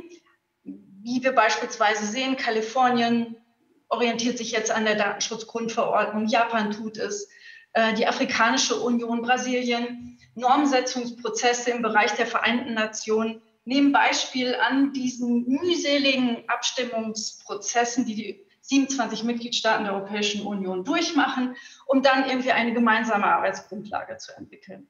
Und ich ähm, habe das jetzt nochmal so expliziert, weil ich glaube, das ist ähm, ein wertvoller Weg und den kann man nicht mal eben so lapidar da äh, wegpusten, indem man sagt, ja, aber damit geht nicht Innovation einher. Ich glaube, dass die Pandemie sehr gut gezeigt hat, ähm, dass Europa doch ein lebenswerter Kontinent ist, dass wir ein ähm, sehr anspruchsvolles Gesundheitssystem haben, dass wir hier öffentliche Güter bereitstellen können, die von vielen Bürgern und Bürgerinnen ähm, wirklich dankenswerterweise ähm, aufgenommen werden und auch äh, Bürger und Bürgerinnen sich beteiligen wollen, das ähm, auch in Zukunft erhalten zu können. Und ähm, das war mir nochmal wichtig, hier herauszustellen, Europa möglicherweise ähm, als dritter Weg jenseits von klassischer Machtpolitik, die immer eskaliert und äh, wo ein, mit einer strategischen Rivalität möglicherweise auch eine neue Konflikthaftigkeit ähm, im internationalen System einhergeht. Vielen Dank. Ich glaube, da kommen wir später auf jeden Fall nochmal drauf zurück.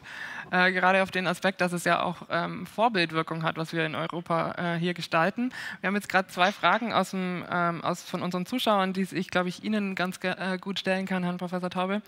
Und zwar ähm, geht es da ein bisschen um chinesische Propaganda.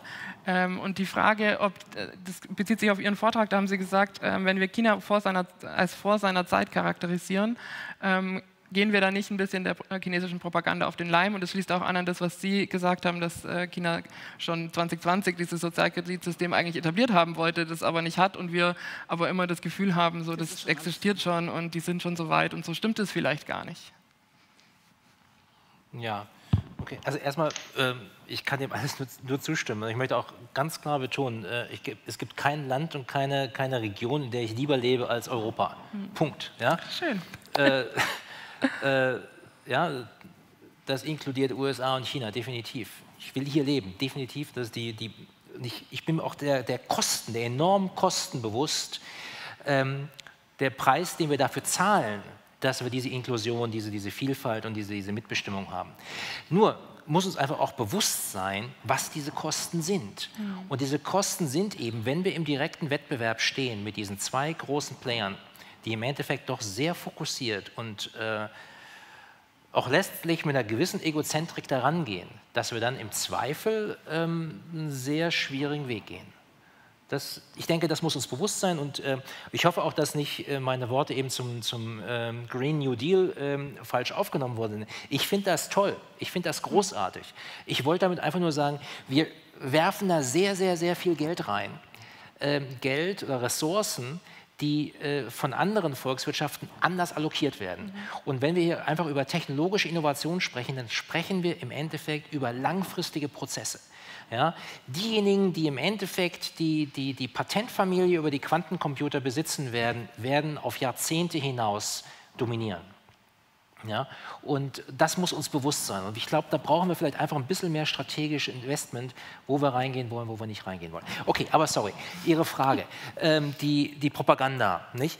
Ähm, mein Gott, das muss uns klar sein. Ich meine, ähm, ähm China ist äh, ein, chinesische Propaganda ist, ist großartig, ja, in einer gewissen Art und Weise. Das ist hochprofessionell. Es ist hochprofessionell. Es gibt, äh, sehr, sehr, es, es, gibt faktisch keine Meinungsvielfalt. Es gibt keine, freie, keine freien Medien, keine freie Presse.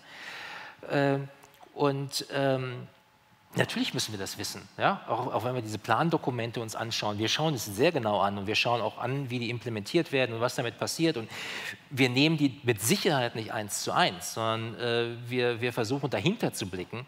Und äh, so ein, so ein Fünfjahresplan ist ja nur das Flaggschiffdokument von Hunderten und Tausenden von Derivatplänen. Ja? und Guidance Catalogs und, und, und äh, Detailbestimmungen, die da drumherum sind. Das, das gesamte chinesische Fünfjahresplansystem, das besteht aus, aus Tausenden von Einzeldokumenten. So, und dann muss man schauen, was mit da, das damit passiert.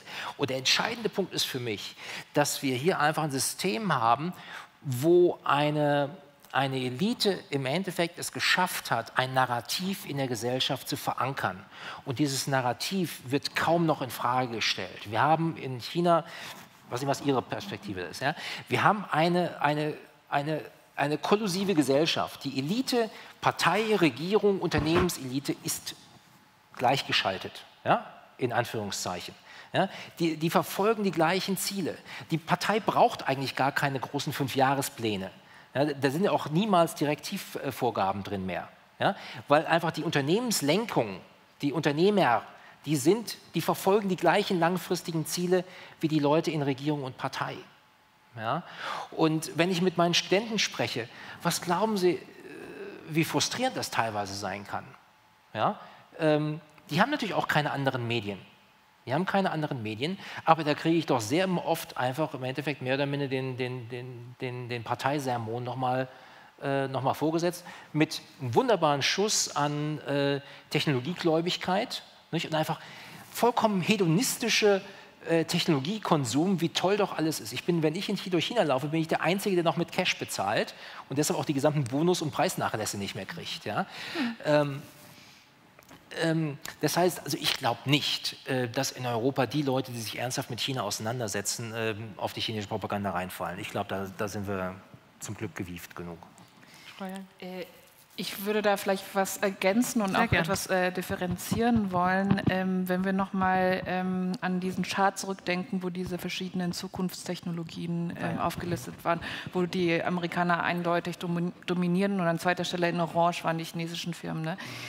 Ähm, also KUKA in der Robotik ist eine aufgekaufte deutsche Firma. Ähm, DJI, ähm, DJI diese, der Drohnenhersteller, den habe ich mal besucht vor drei Jahren. Ähm, Shenzhen, sehr, sehr beeindruckendes Unternehmen.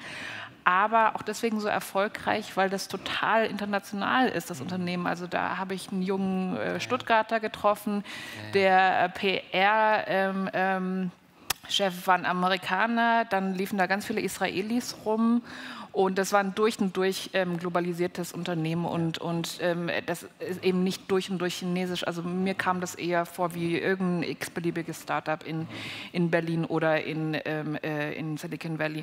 Ähm, dann äh, dann war in diesen ganzen äh, AI und so, äh, so, so, Nanotechnologie, da war nichts Chinesisches zu finden. Ähm, im Bereich Blockchain haben wir Alibaba. Alibaba wird gerade niedergemacht von der Regierung. Die haben innerhalb von jetzt ein paar Wochen äh, ein Drittel ihres Börsenwerts ähm, verloren und Jack Ma ist jetzt in Rente und malt als Hobby.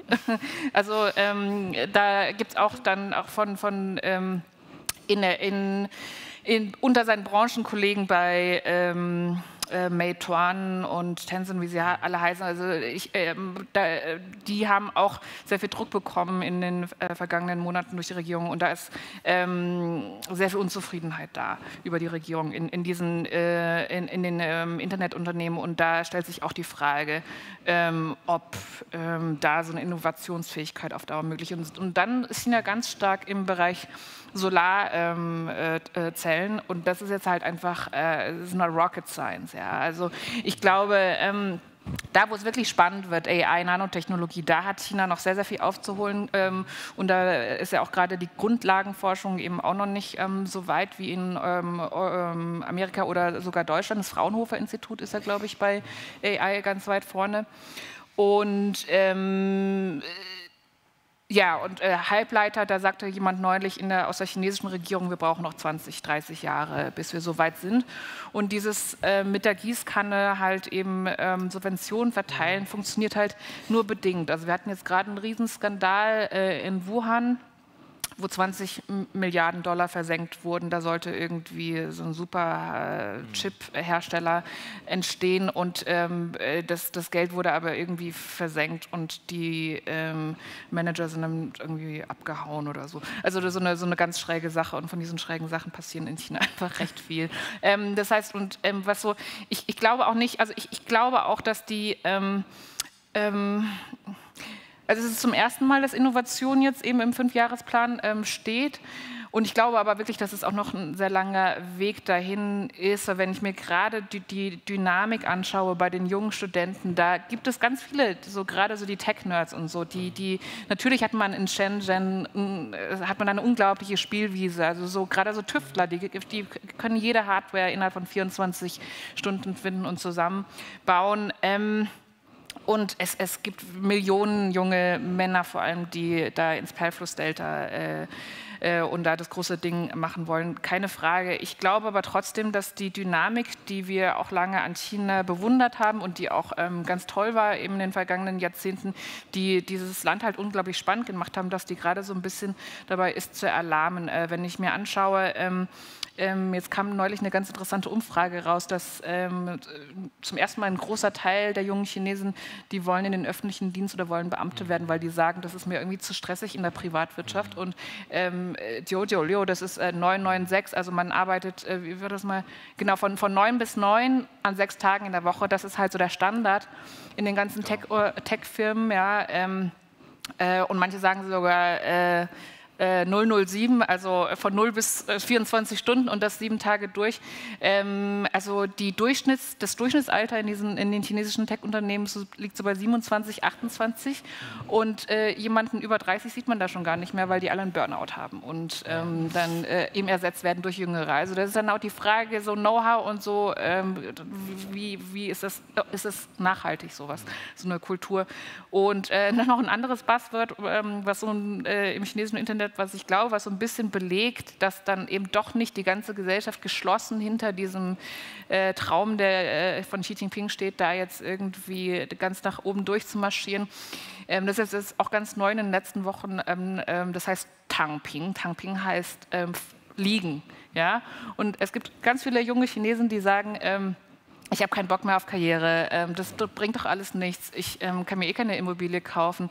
Ähm, ich habe auch, will auch gar keine Gehaltserhöhung, ich will eigentlich nur noch äh, liegen. liegen. Und so. Und das ist halt, das ist, ähm, dieses äh, Wort wurde in China jetzt verboten, weil das natürlich extrem äh, gefährlich ist für das System, wenn viele junge Leute gar nicht liegen mehr so ambitioniert sind. Also den Teil in der Bevölkerung gibt es eben auch. Und ähm, da sehe ich schon, dass es, ein, äh, dass es kein Selbstläufer wird für, für die Regierung auf jeden Fall. Darf ich zwei, drei Worte zu sagen? Sehr gerne, Frau Dr. Bendig. Sie dürfen jederzeit auch äh, sich einschalten, ähm, wenn Sie aber bitte. Ja. Es ist super, weil das, das aufbringen, ja, also genau. Aber Sie wissen auch, dieses 996, dieses gesamte Modell, das ist im Endeffekt von Korea übernommen worden. Das ist das mhm. koreanische Modell. Die koreanischen Hightechs, eine Samsung, die funktionieren genau so. Mhm. Die jungen Leute arbeiten da maximal 15 Jahre, dann werden die vom Unternehmen ausgespuckt, mehr oder minder, weil die echt nicht mehr können. Mhm. Ja, und gehen dann in, in Tochterunternehmen oder, oder irgendwo im Sektor runter und, und können dort eben den Rest ihres, ihres Lebens im alten Brot mit ab 35 dann äh, verbringen. Vollkommen irre. Ja? Mhm. Ähm, haben Sie vollkommen recht, auch diese Geschichte mit dem, den ausländischen Impulsen. Klar, tatsächlich ist immer auch das chinesische Bildungssystem. Es gibt fünf, sechs, sieben wirklich gute Universitäten, die eine super Ausbildung machen, aber das ist nicht die Masse, das reicht nicht. Ja? Die brauchen tatsächlich den, den großen ähm, ausländischen Impuls. Ja, eine KUKA und, und, und wie sie alle heißen, ne, die großen chinesischen Auswärtsdirektinvestitionen äh, im Ausland, um dort eben nicht die Unternehmen zu kaufen, die sind gar nicht so entscheidend. Die entscheidend sind die Ingenieursteams, die man nutzen kann, um dann eben für chinesische Unternehmen hier, hier aktiv zu werden. Und ähm, das ist mit Sicherheit das, das, große Manko. Auf der anderen Seite, aber ähm, die, die Top-Positionen in China sind super incentiviert.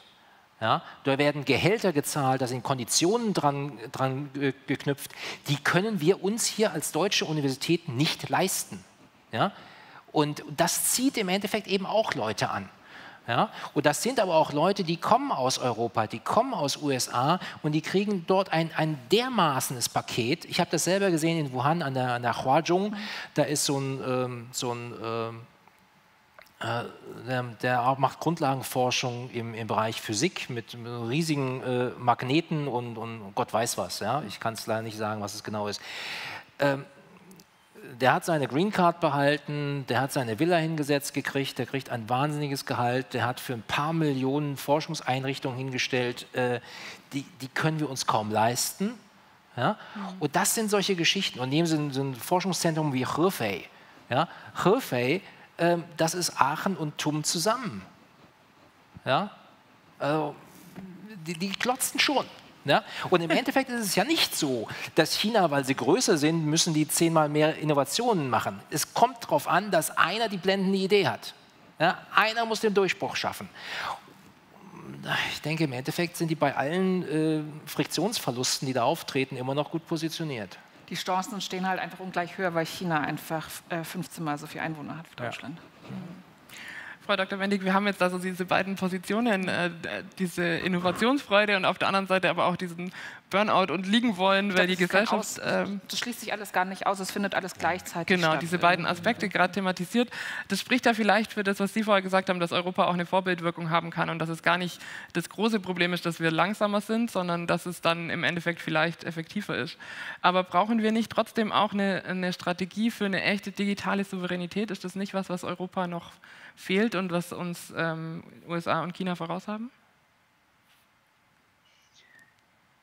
Ich glaube, dass wir jetzt aufgewacht sind, äh, spätestens seit der Juncker-Kommission 2005, äh, dass wir diesen digitalen Binnenmarkt hier in Europa gestalten müssen. Das tun wir. Investitionen äh, gehen auch nicht nach dem Gießkannenprinzip jetzt über den neuen mehrjährigen Finanzrahmen und äh, über den Wiederaufbaufonds ähm, auf die 27 Mitgliedstaaten ähm, über, sondern das sind natürlich gezielte ähm, Investitionen. Man setzt auf ähm, öffentlich-private Partnerschaften bei Clusterbildung, Exzellenzcenter. Äh, man hat äh, sechs Schlüsseltechnologien definiert hier in Europa, wo man denkt, dass man wirklich konkurrenzfähig sein kann. Konkurrenz ist da sozusagen das Stichwort und äh, der europäische Weg sozusagen auf ähm, China, auf USA zuzugehen, also in erster Linie erstmal auf, auf, auf China, ist wirklich China zu, zu begreifen in drei Dimensionen. Einmal als systemischen Rivalen, das ist so, wir haben unterschiedliche Vorstellungen äh, des Gesellschaftsmodells. Äh, das fängt an bei der Gesichtserkennung, bei Social Scoring-Systemen, bei ähm, individuellen Freiheitsrechten. Ähm, wir begreifen China aber eben auch als ähm, Konkurrenten in, in, in, der ökonomischen, in der Technologiewelt und ähm, wir begreifen ihn auch als, ähm, als Partner. Partner, weil wir schon sehen, äh, das ist durch meine wenigen Gespräche, die ich äh, in Shanghai hatte, auch ähm, klar geworden, sie, die Chinesen, also die chinesischen Partner, mit denen ich gesprochen habe von der Akademie der Sozialwissenschaften, sind großartige Zuhörer. Äh, sie hören ganz genau hin, äh, was man in Europa will. Sie wollen verstehen, sie wollen ähm, die Erkenntnis sozusagen akkumulieren. Und das ist etwas, ähm, was auch Spaß macht, weil sie eben so innovationsfreudig sind und im Bereich von Klimaschutz, im Bereich von Gesundheitsentwicklung wirklich mit einem sehr großen Interesse nach Europa schauen, weil sie eben auch diese hohe Qualität ähm, haben wollen, weil sie sagen, das ist eine tolle Lebensqualität, ähm, die wir hier im chinesischen Reich auch ähm, etablieren möchten und äh, breit ausgerollt. Ähm, das führt mich aber dazu, dass ich jetzt sage, okay, wir müssen hier in Europa, und ich glaube, da gibt es eine schiere Naivität äh, in den letzten Jahrzehnten, äh, mehr China-Kompetenz ähm, aufbauen, wirklich an den klassischen äh, Lehrstühlen, an den klassischen Universitäten, ähm, um, für, um dieses Reich ja besser zu verstehen ähm, und nicht nur über ähm, Kommunikatoren, die eben berichten, in einzelnen Zeitungsartikeln. Das will ich jetzt gar nicht irgendwie so ähm, abtun, aber ich glaube, wir brauchen eine systematische wissenschaftliche China-Kompetenz, die wir hier in Europa aufbauen. Und ähm, das ist etwas, was die Chinesen, glaube ich, uns wirklich voraus haben, weil sie hier sehr viel Kompetenz aus Europa generiert haben für sich aber wir eben nicht umgekehrt. Und das führt mich zu dem Gedanken der Reziprozität. Also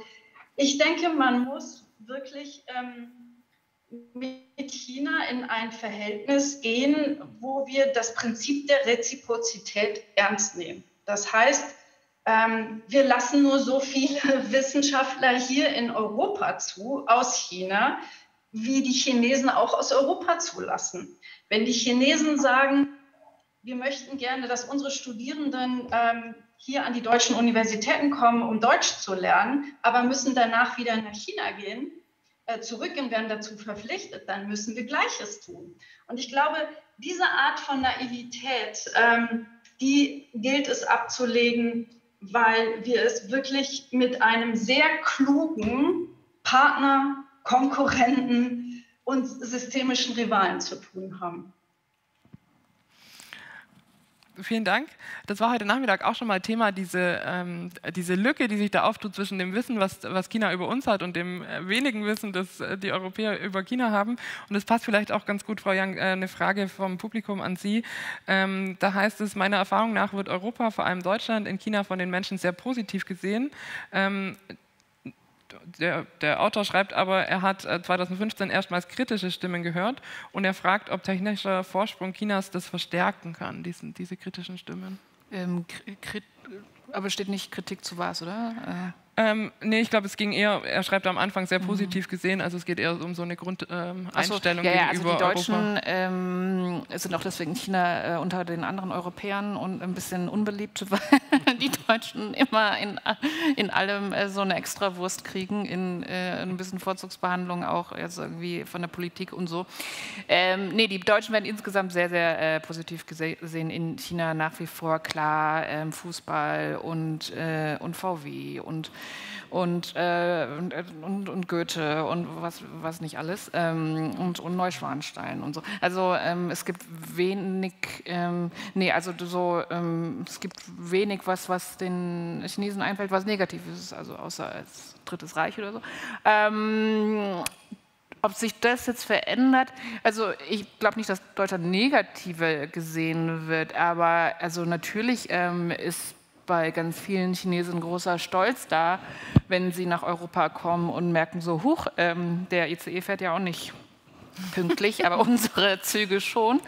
Äh, und, ähm, und wir haben hier äh, irgendwie die schickeren äh, äh Flughäfen und so. Äh, das, äh, jetzt in der Pandemie ähm, habe ich sehr viel, aber auch nicht direkt jetzt so Kritik, sondern sehr viel Unverständnis gehört über Europa, ja, warum äh, wir das hier nicht auf die Reihe kriegen, ja. Und ähm, das ist so, also ich glaube, ein bisschen Respekt ist da verloren gegangen, das auf jeden Fall. Und, und natürlich war jetzt, äh, das daran waren vor allem jetzt, also da war jetzt nicht Deutschland dran schuld, aber schon auf jeden Fall Trump und Berlusconi und äh, wie sie noch alle heißen, ähm, hier in Europa die ganzen rechtspopulistischen äh, Regierungen der vergangenen Jahre, die haben natürlich ähm, ähm, äh, jedem aus dem Westen schwerer gemacht, jetzt da noch mit Menschenrechten zu kommen, weil dann sofort ähm, äh, dann als äh, dann eben das Retourargument kommt, aber das ist doch nur ein Feigenblatt für euch und eigentlich wollt ihr hier nur eure Autos verkaufen. Also das, äh, das ist schon auf jeden Fall, äh, äh, das sind so die Trends der letzten mhm. Jahre, wo, wo, wo sich das Image doch ein bisschen so verdüstert hat. Ja. ja vielen Dank. Ja, der Verlust an Respekt. Nicht? Mhm. Also ähm, wir haben einfach, wir konnten es gar nicht glauben, wie wir das hier versemmelt haben. Nicht? Mhm. Also unfassbar, gerade mit, mit, mit der App und was Sie, was Sie vorhin ja schön sagten mit, der, mit, der, äh, mit dem Datenschutz. Nicht? Ich meine, ja, ähm, aber ich, hab, ich nehme momentan wahr, jetzt auch gerade in diesen, diesen Tit-for-Tat-Sanktionen, die wir haben, ähm, dass Europa in China zunehmend äh, kaum mehr als eigenständiger Akteur wahrgenommen wird, sondern mhm. eben tatsächlich als, als Pudel der USA. Ähm, dass man also eigentlich wirklich und jetzt endgültig, das hat man eigentlich schon die ganzen Jahrzehnte gemacht, weil der, der definierte Gegenspieler, Kontrahent war die USA. Mhm. Europa war immer ein bisschen drunter, aber inzwischen ist es definitiv so, Europa eher der Pudel der USA und wird immer weniger wahrgenommen oder ernst genommen. Und das, das finde ich sehr, sehr bedauerlich, weil das natürlich, wenn das sich tatsächlich Bahn bricht, wenn das wirklich so durchsetzt, dann verliert Europa natürlich an Sprechfähigkeit, äh, mhm. an, an Verhandlungsmöglichkeit. Und das müssen wir definitiv vermeiden. Das heißt, wir brauchen eigentlich eine klare Positionierung Europas in Relation zu den USA, um unsere Verhandlungsfähigkeit zu China klar, äh, klar zu, ähm, äh, wieder zu reaktivieren eigentlich. Vielleicht darf ich da gleich anknüpfen und, zu, und dann auch zu meinem zweiten großen Themenkomplex kommen, nämlich der, dem wachsenden globalen Einfluss von China. Und Sie haben in Ihrem äh, Vortrag ja auch die, dieses große Projekt der sogenannten neuen Seidenstraße angesprochen. Und Sie äh, lehren in äh, ja. Duisburg und das ist ja der Endpunkt ja. äh, der Seitenstraße oder des, des ja. geplanten Projekts. Ähm, jetzt versuchen ja die Europäer dem was entgegenzusetzen durch eigene ähm, Investitionsprojekte. Aber die Chinesen haben, glaube ich, 2013 angefangen mit diesem ähm, Seidenstraßenprojekt. Haben wir da überhaupt noch eine Chance oder sind wir schon viel zu spät dran? Ja, natürlich. Ich meine, äh, wir, wir, müssen ein bisschen aufpassen. Also, was ist die Seidenstraße? Punkt 1. Ja? Ähm, und das ist eine Studie, die haben wir vor zwei Jahren gemacht für die Bertelsmann Stiftung. Wir haben einfach mal geschaut, was, was geben die Chinesen da rein an, an, direkt, an, an Grants, an, an, Entwicklungshilfe, subsidized, subventionierten Krediten und so weiter und so fort. Und was fließt von Europa und Amerika in diese Region rein, nach Zentralasien und so weiter und so fort. Und es ist mindestens so viel, was aus Europa, Amerika in diese Region reinfließt, wie aus China. Nur wir reden nicht darüber. Die Chinesen reden darüber, machen ein unglaubliches Marketing-Ding daraus.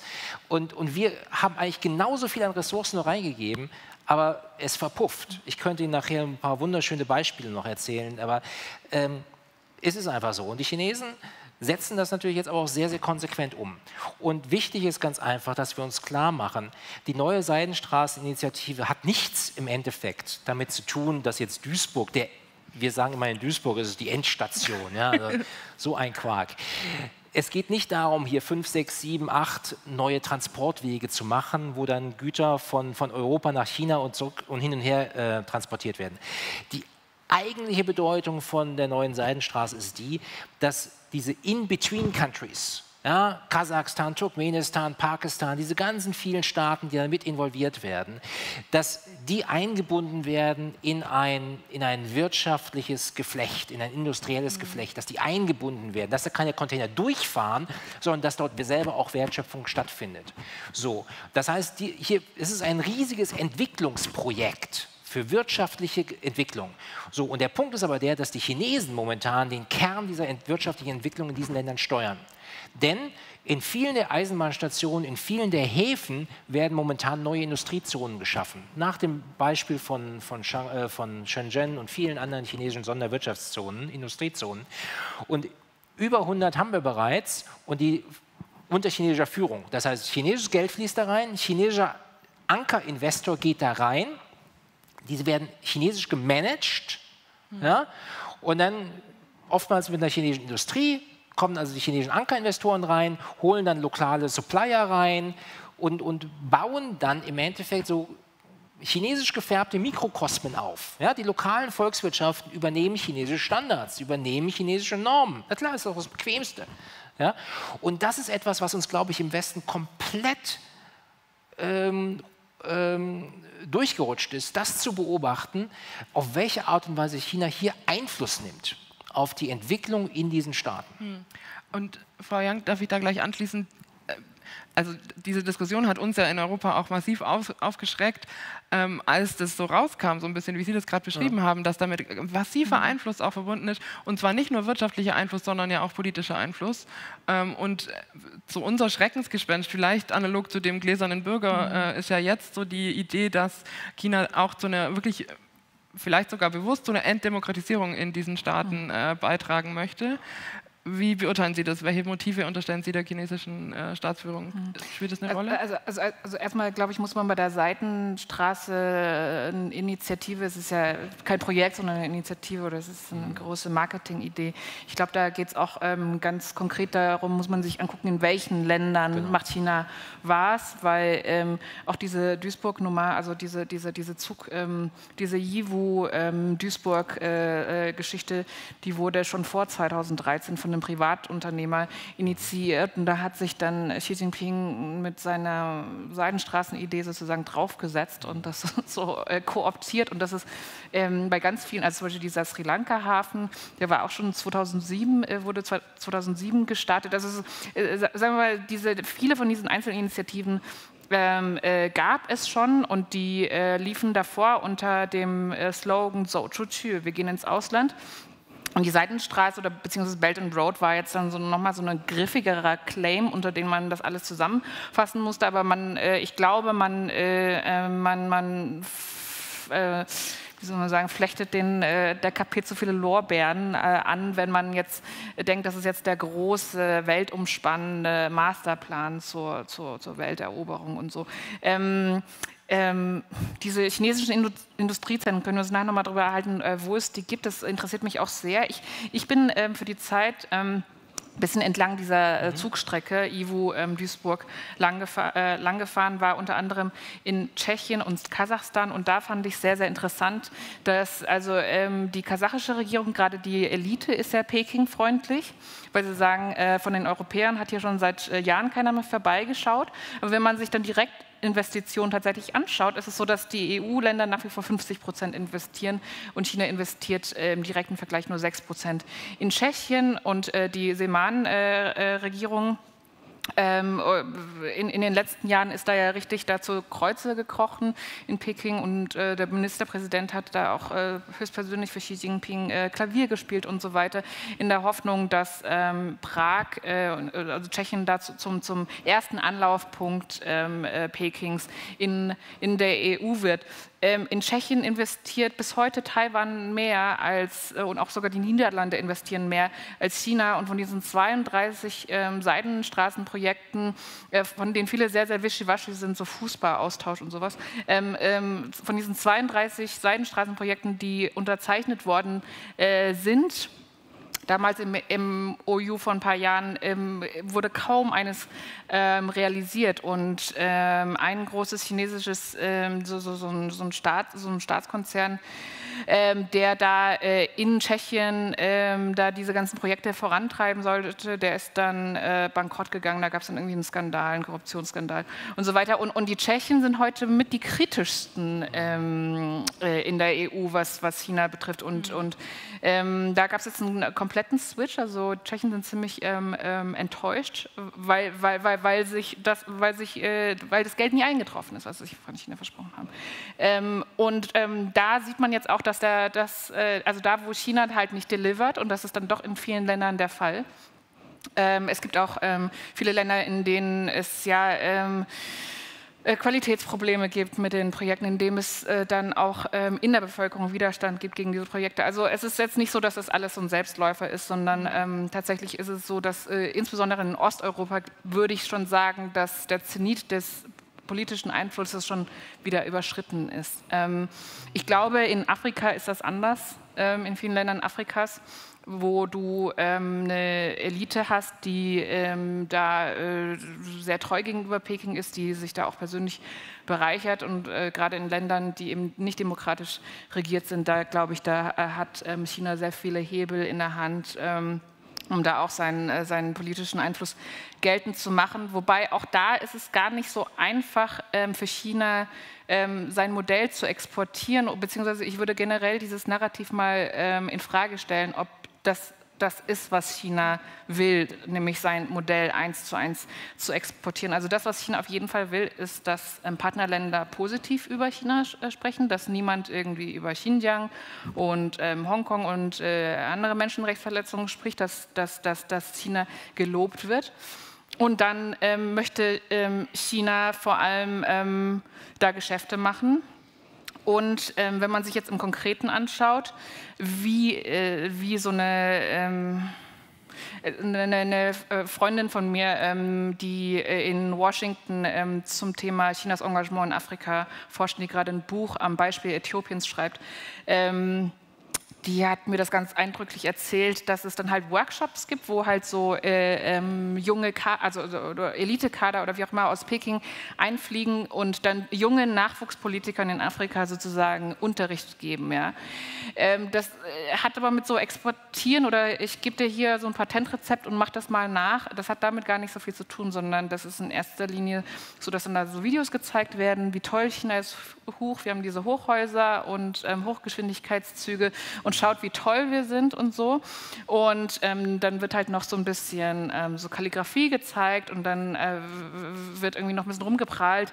Und, ähm, aber ähm, es ist tatsächlich äh, gar nicht, äh, es, also, da, da gibt es jetzt eins zu eins gar nichts zu e-, exportieren, weil ähm, China, Chinas Modell hat deswegen so lange so gut funktioniert, weil China diesen riesen Markt hatte, diese aber hunderte Millionen äh, günstige Arbeitskräfte und Chinas äh, selbst, äh, also das chinesische äh, autokratische System kann man auch nicht einfach exportieren, ähm, weil das, ähm, das florierte, weil Deng Xiaoping nach eben der Mao-Ära da so eine gewisse Flexibilität und eine Experimentierfreudigkeit ähm, eingeführt hat. Und China hat eben so diesen, diesen großen, riesigen administrativen Apparat, der jetzt wie im Beispiel, äh, am Beispiel der Seidenstraße oder wie beim Beispiel Made in China 2025 der so, ähm, das ist noch unter Mao eingeübt, so diese Kampagnenpolitik. Ja? Der große Vorsitzende gibt dann halt so einen Slogan vor und alle überlegen sich, wie können wir das mit Leben ausfüllen.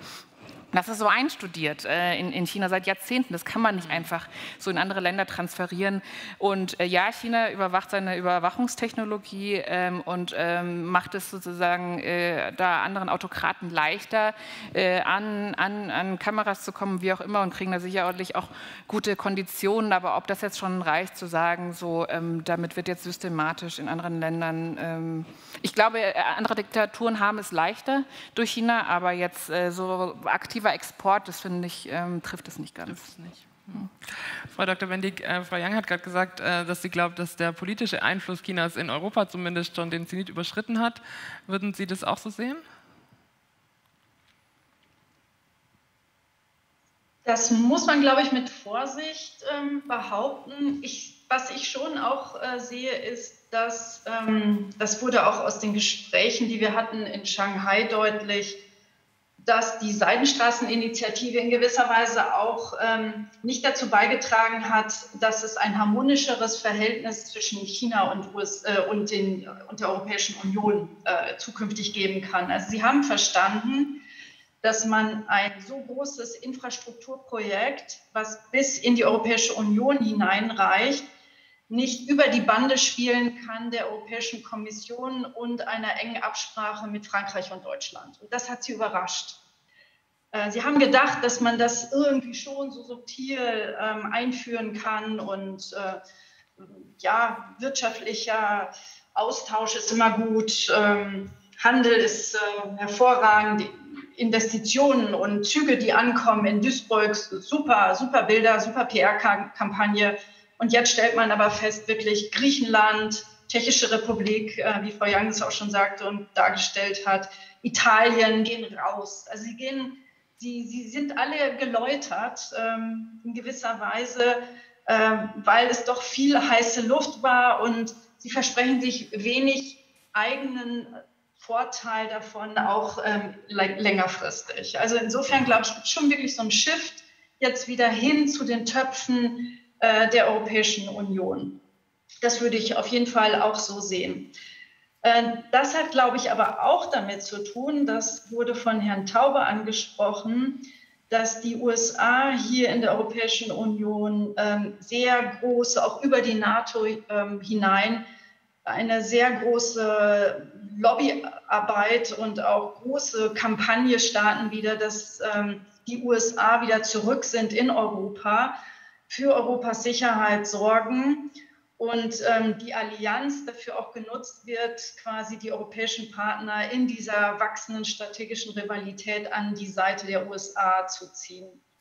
Äh, da würde ich auch sagen, ähm, da muss man ganz genau hingucken, weil man nicht davon ausgehen kann, dass unsere europäischen Interessen immer gleich gehen mit den US-amerikanischen Interessen und schon gar nicht natürlich mit den chinesischen Interessen. Also insofern glaube ich, der gesunde Zugriff ist hier erstmal eine europäische Interessensbestimmung äh, zu vollziehen, um dann mit einer eigenen Position äh, zu verhandeln äh, mit den Partnern.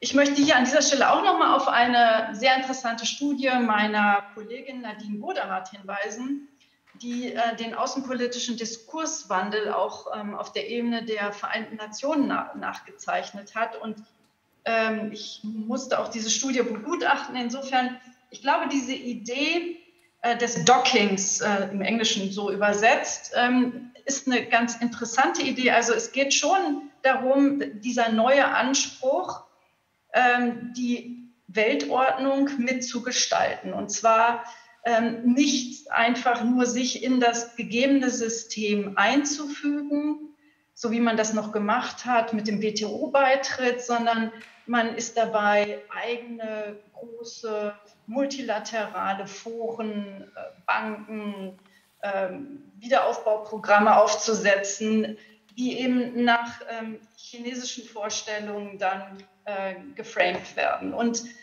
das ist schon etwas, ähm, was bedenklich ist, weil da bin ich jetzt äh, im Prinzip bei den internationalen Beziehungen und das, was wir aus der Literatur lernen können.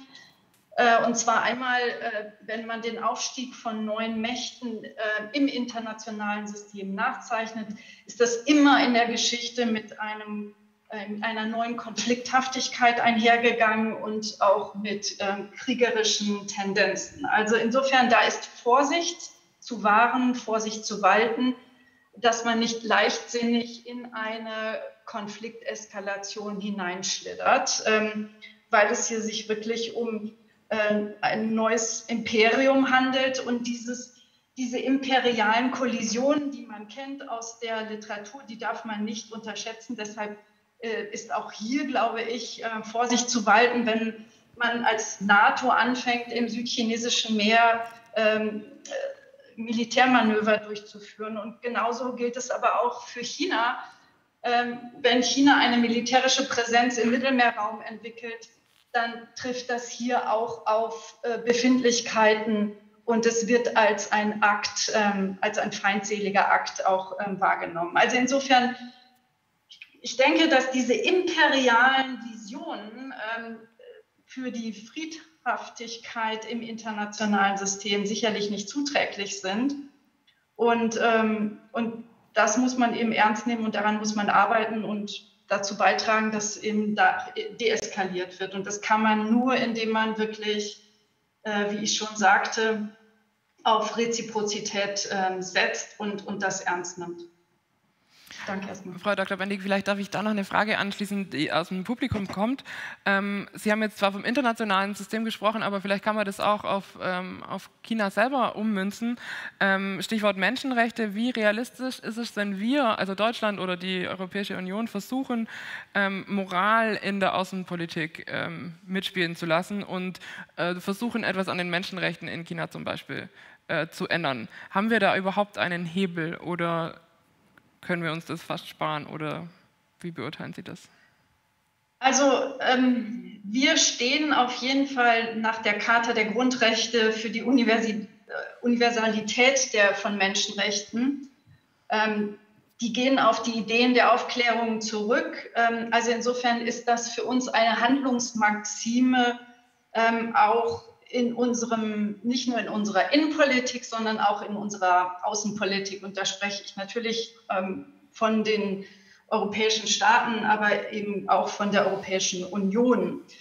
Ähm, und ich glaube, dass diese Handlung, dieses Sanktionsregime gegenüber China ähm, zu, ja, zu verkünden und dann natürlich mit äh, Rückschlagseffekten, ja, wo keiner damit gerechnet hat, dass hier äh, wirklich äh, Forschungsinstitute, also wie das MERIX dann von Gegensanktionen betroffen wird, bis hin zu äh, Parlamentariern äh, des Europäischen Parlaments, also wo man wirklich sehr weit gegangen ist von der chinesischen Seite, hm. wo ich denke, ähm, eine stark werteorientierte Außenpolitik gegenüber China wird zwangsläufig in eine neue Konflikthaftigkeit ähm, münden.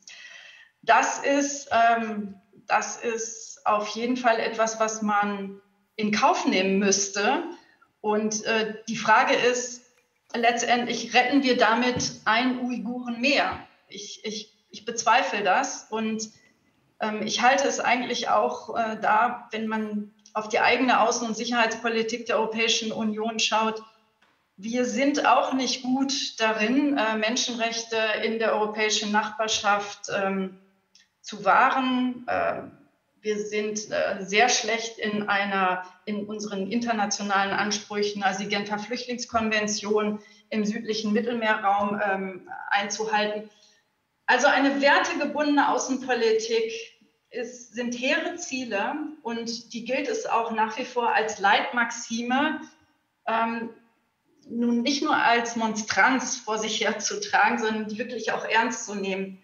Aber mit kluger Politik geht nicht unbedingt immer eine automatisch eine in der Praxis äh, wertegebundene Außen- und Sicherheitspolitik einher. Also das hat in der Vergangenheit immer viel Unheil gebracht.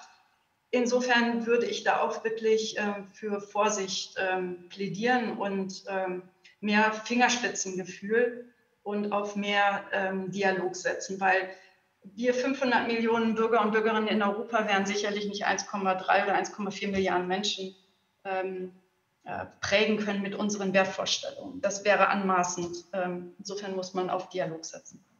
Vielen Dank. Wir sind am Ende der Zeit. Ich würde aber trotzdem gerne noch eine kurze Abschlussrunde mit Ihnen machen und äh, um, auch um eine entsprechend kurze Antwort bitten.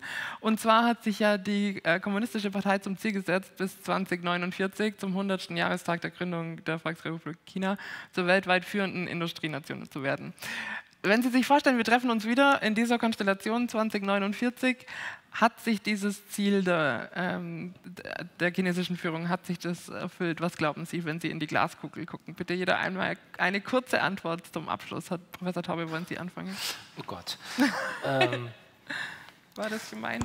Nach allem, was ich bislang gesagt habe, würde man jetzt von mir erwarten, dass ich sage, ja, Sie werden es schaffen. Ich, ich bin da nicht so sicher, ehrlich gesagt. Also ich, ich glaube, Sie haben gute Chancen, äh, das Ziel zu realisieren.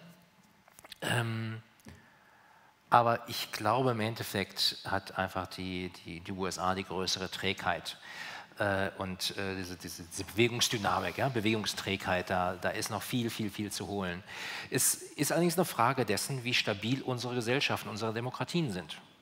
Und ich denke, das ist auch etwas, was, äh, was wir ansprechen müssen.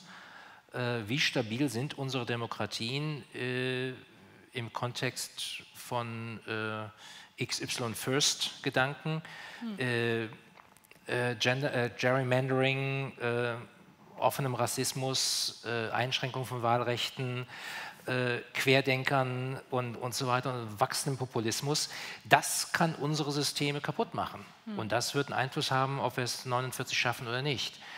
Also ein ähm, sehr differenzierter Blick in unsere Glaskugel. Ja, ein genau. sehr differenzierter Blick in die Glaskugel. Hm. Vielen Dank. Äh, ich möchte äh, auch mich nicht mit einer festen Prognose aus dem Fenster lehnen, weil Prognosen sind schwierig, vor allem wenn sie die Zukunft betreffen, sagt man, glaube ich. Ähm, äh, also ich glaube, so wenig wie es ein, wie es einen Automatismus gab, dass nach äh, dem Ende des Kalten Krieges ähm, das Ende der Geschichte eingetreten ist, ähm, genauso wenig gibt es jetzt einen Automist Automatismus, dass jetzt äh, unser autoritäre Jahrhundert bevorsteht und äh, Demokratien gar nichts mehr zu melden haben. Also ich glaube, das äh, ähm, kommt, wie, wie das dann weitergeht ob China die USA überholen wird, das kommt ganz wesentlich auf die innere Stärke äh, der USA und der westlichen Demokratien an. Ähm, ich bin da eigentlich doch ganz optimistisch, also nicht, dass die USA jetzt äh, dann die Nummer eins bleiben werden. Das ist, äh, ich bin optimistisch, dass am Ende des Tages, glaube ich, doch offene Gesellschaften besser aufgestellt sind. Ähm, weil auch die äh, China es bis heute eigentlich nicht geschafft hat, so äh, die Quadratur des Kreises äh, da irgendwie äh, zu, zu, erfinden. Ähm, beziehungsweise das Rad neu zu erfinden. Also China ist in den letzten Jahrzehnten gewachsen ähm, nach äh, dem Tod von Mao, vor allem weil man da eine Offenheit, eine Experimentierfreudigkeit, weil man Privatwirtschaft zugelassen hat in der, äh, in, in der Bevölkerung. Und die ist nicht äh, wegen der KP gewachsen, sondern äh, trotz der KP. Ja? Und das wird man halt sehen, ob Xi Jinping mit seinem neuen Zentralismus und mit, mit seiner Repression ähm, und den Parteizellen in jedem Privatunternehmen, ob, der, ob, der, ob, dieser Trend so weitergeführt werden kann. Ja? Und vielleicht äh, ist China äh, 1949, äh, 2049 die Nummer eins in der Welt, aber vielleicht unter einem ganz anderen Regime, äh, unter einer ganz anderen Regierung, wir wissen es nicht. Ja? Also ich kriege auch hier keine definitive, äh, definitive Aussage. Frau Dr. Bendig, wie sieht es bei Ihnen aus? Haben Sie klare Vorstellungen? Also ich blicke eigentlich ähm, sehr zuversichtlich in die Zukunft, dass wir ähm, sowohl in den drei Regionen, also USA, China als auch Europa, ähm, eine äh, industrielle Entwicklung ähm, forcieren werden, die aber sehr unterschiedliche Bereiche, glaube ich, äh, für sich entdecken wird. Und ich, ich denke, dass ähm, ein Thema, was jetzt hier überhaupt noch gar nicht ähm, so explizit äh, thematisiert wurde, ist eben der Klimawandel. Und ich glaube, dass ähm, die Veränderung des Klimas und mit allen Folgen, die damit einhergehen werden, unsere Gesellschaften so enorm unter Druck setzen werden und dementsprechend auch die technologische Entwicklung befördern werden, äh, in allen Regionen, äh, auf jeden Fall in diesen drei Regionen, ähm, dass ich auf jeden Fall eine, eine hohe und schnelle technologische Entwicklung ähm, sich abzeichnet. Aber ich glaube, dass das Leitmotiv ist eben hier, ähm, wie kann man eine, einen Wandel hinbekommen, der nachhaltig ist. Also nachhaltig im Sinne von für die Natur, aber auch nachhaltig in Bezug auf den Generationswechsel, ähm, nachhaltig in Bezug auf den demografischen Wandel. Und ich glaube, da gibt es ganz viele Ähnlichkeiten, ähm, die die Industrienationen ähm, in diesen drei Weltregionen ähm, hinbekommen müssen. Und vielleicht gibt es da auch dann die Chancen der Kooperation. Vielen Dank. Das ist doch ein wunderschönes Schlusswort, die Chancen der Kooperation. Ähm, ich darf mich ganz, ganz herzlich bei Ihnen allen bedanken, Herr Professor Taube, Frau Young, Frau Dr. Bendig. Ähm, vielen Dank, dass Sie sich die Zeit genommen haben, dass Sie bei uns waren und für das interessante Gespräch. Ähm, ich darf mich auch ganz herzlich beim Amerika-Haus bedanken, beim Dr. Faltermeier für die hervorragende Zusammenarbeit und auch beim ganzen Technikteam, die uns großartig hier durch den ganzen Tag geführt haben. Und ich möchte mich auch ganz herzlich bei meinen beiden Kollegen bedanken, beim Herrn Nominacher und beim Herrn Müller, der leider krank zu Hause ist. Ähm, und ich darf Sie, liebes Publikum im Saal und auch liebe Sie, äh, Sie liebe Zuschauer zu Hause, nochmal ähm, ermuntern, auf die Homepages von unseren beiden Institutionen, vom Amerika-Haus München und von der Landeszentrale für politische Bildungsarbeit zu schauen. Diese Themen, die wir heute Abend angesprochen haben, das ist natürlich ein riesenweites Feld. Und wir haben, äh, beide Institutionen haben sehr viele Angebote zu diesen ähm, zu diesen Themen, sowohl was jetzt zum Beispiel künstliche Intelligenz angeht, als auch ähm, China, USA, ähm, Europa. Und Sie sind herzlich eingeladen, sich umzuschauen. Ich darf Sie vielleicht noch auf eine Veranstaltung hinweisen, die ähm, nächste Woche stattfindet, und zwar ein Webtalk zum Thema die Macht der künstlichen Intelligenz, neue Regeln für das digitale Europa. Da diskutieren wir unter anderem mit Professor Dr. Nida Rümelin und äh, Renate Nicolai von der EU-Kommission. Ähm, und Sie finden auch viele spannende äh, Informationen bei uns auf den Homepages. Und dann bedanke ich mich äh, auch ganz herzlich für Ihr Interesse, für Ihr Kommen. Äh, so schön, mal wieder Zuschauer zu sehen, live vor Ort und wünsche Ihnen einen wunderschönen Abend. Auf Wiedersehen.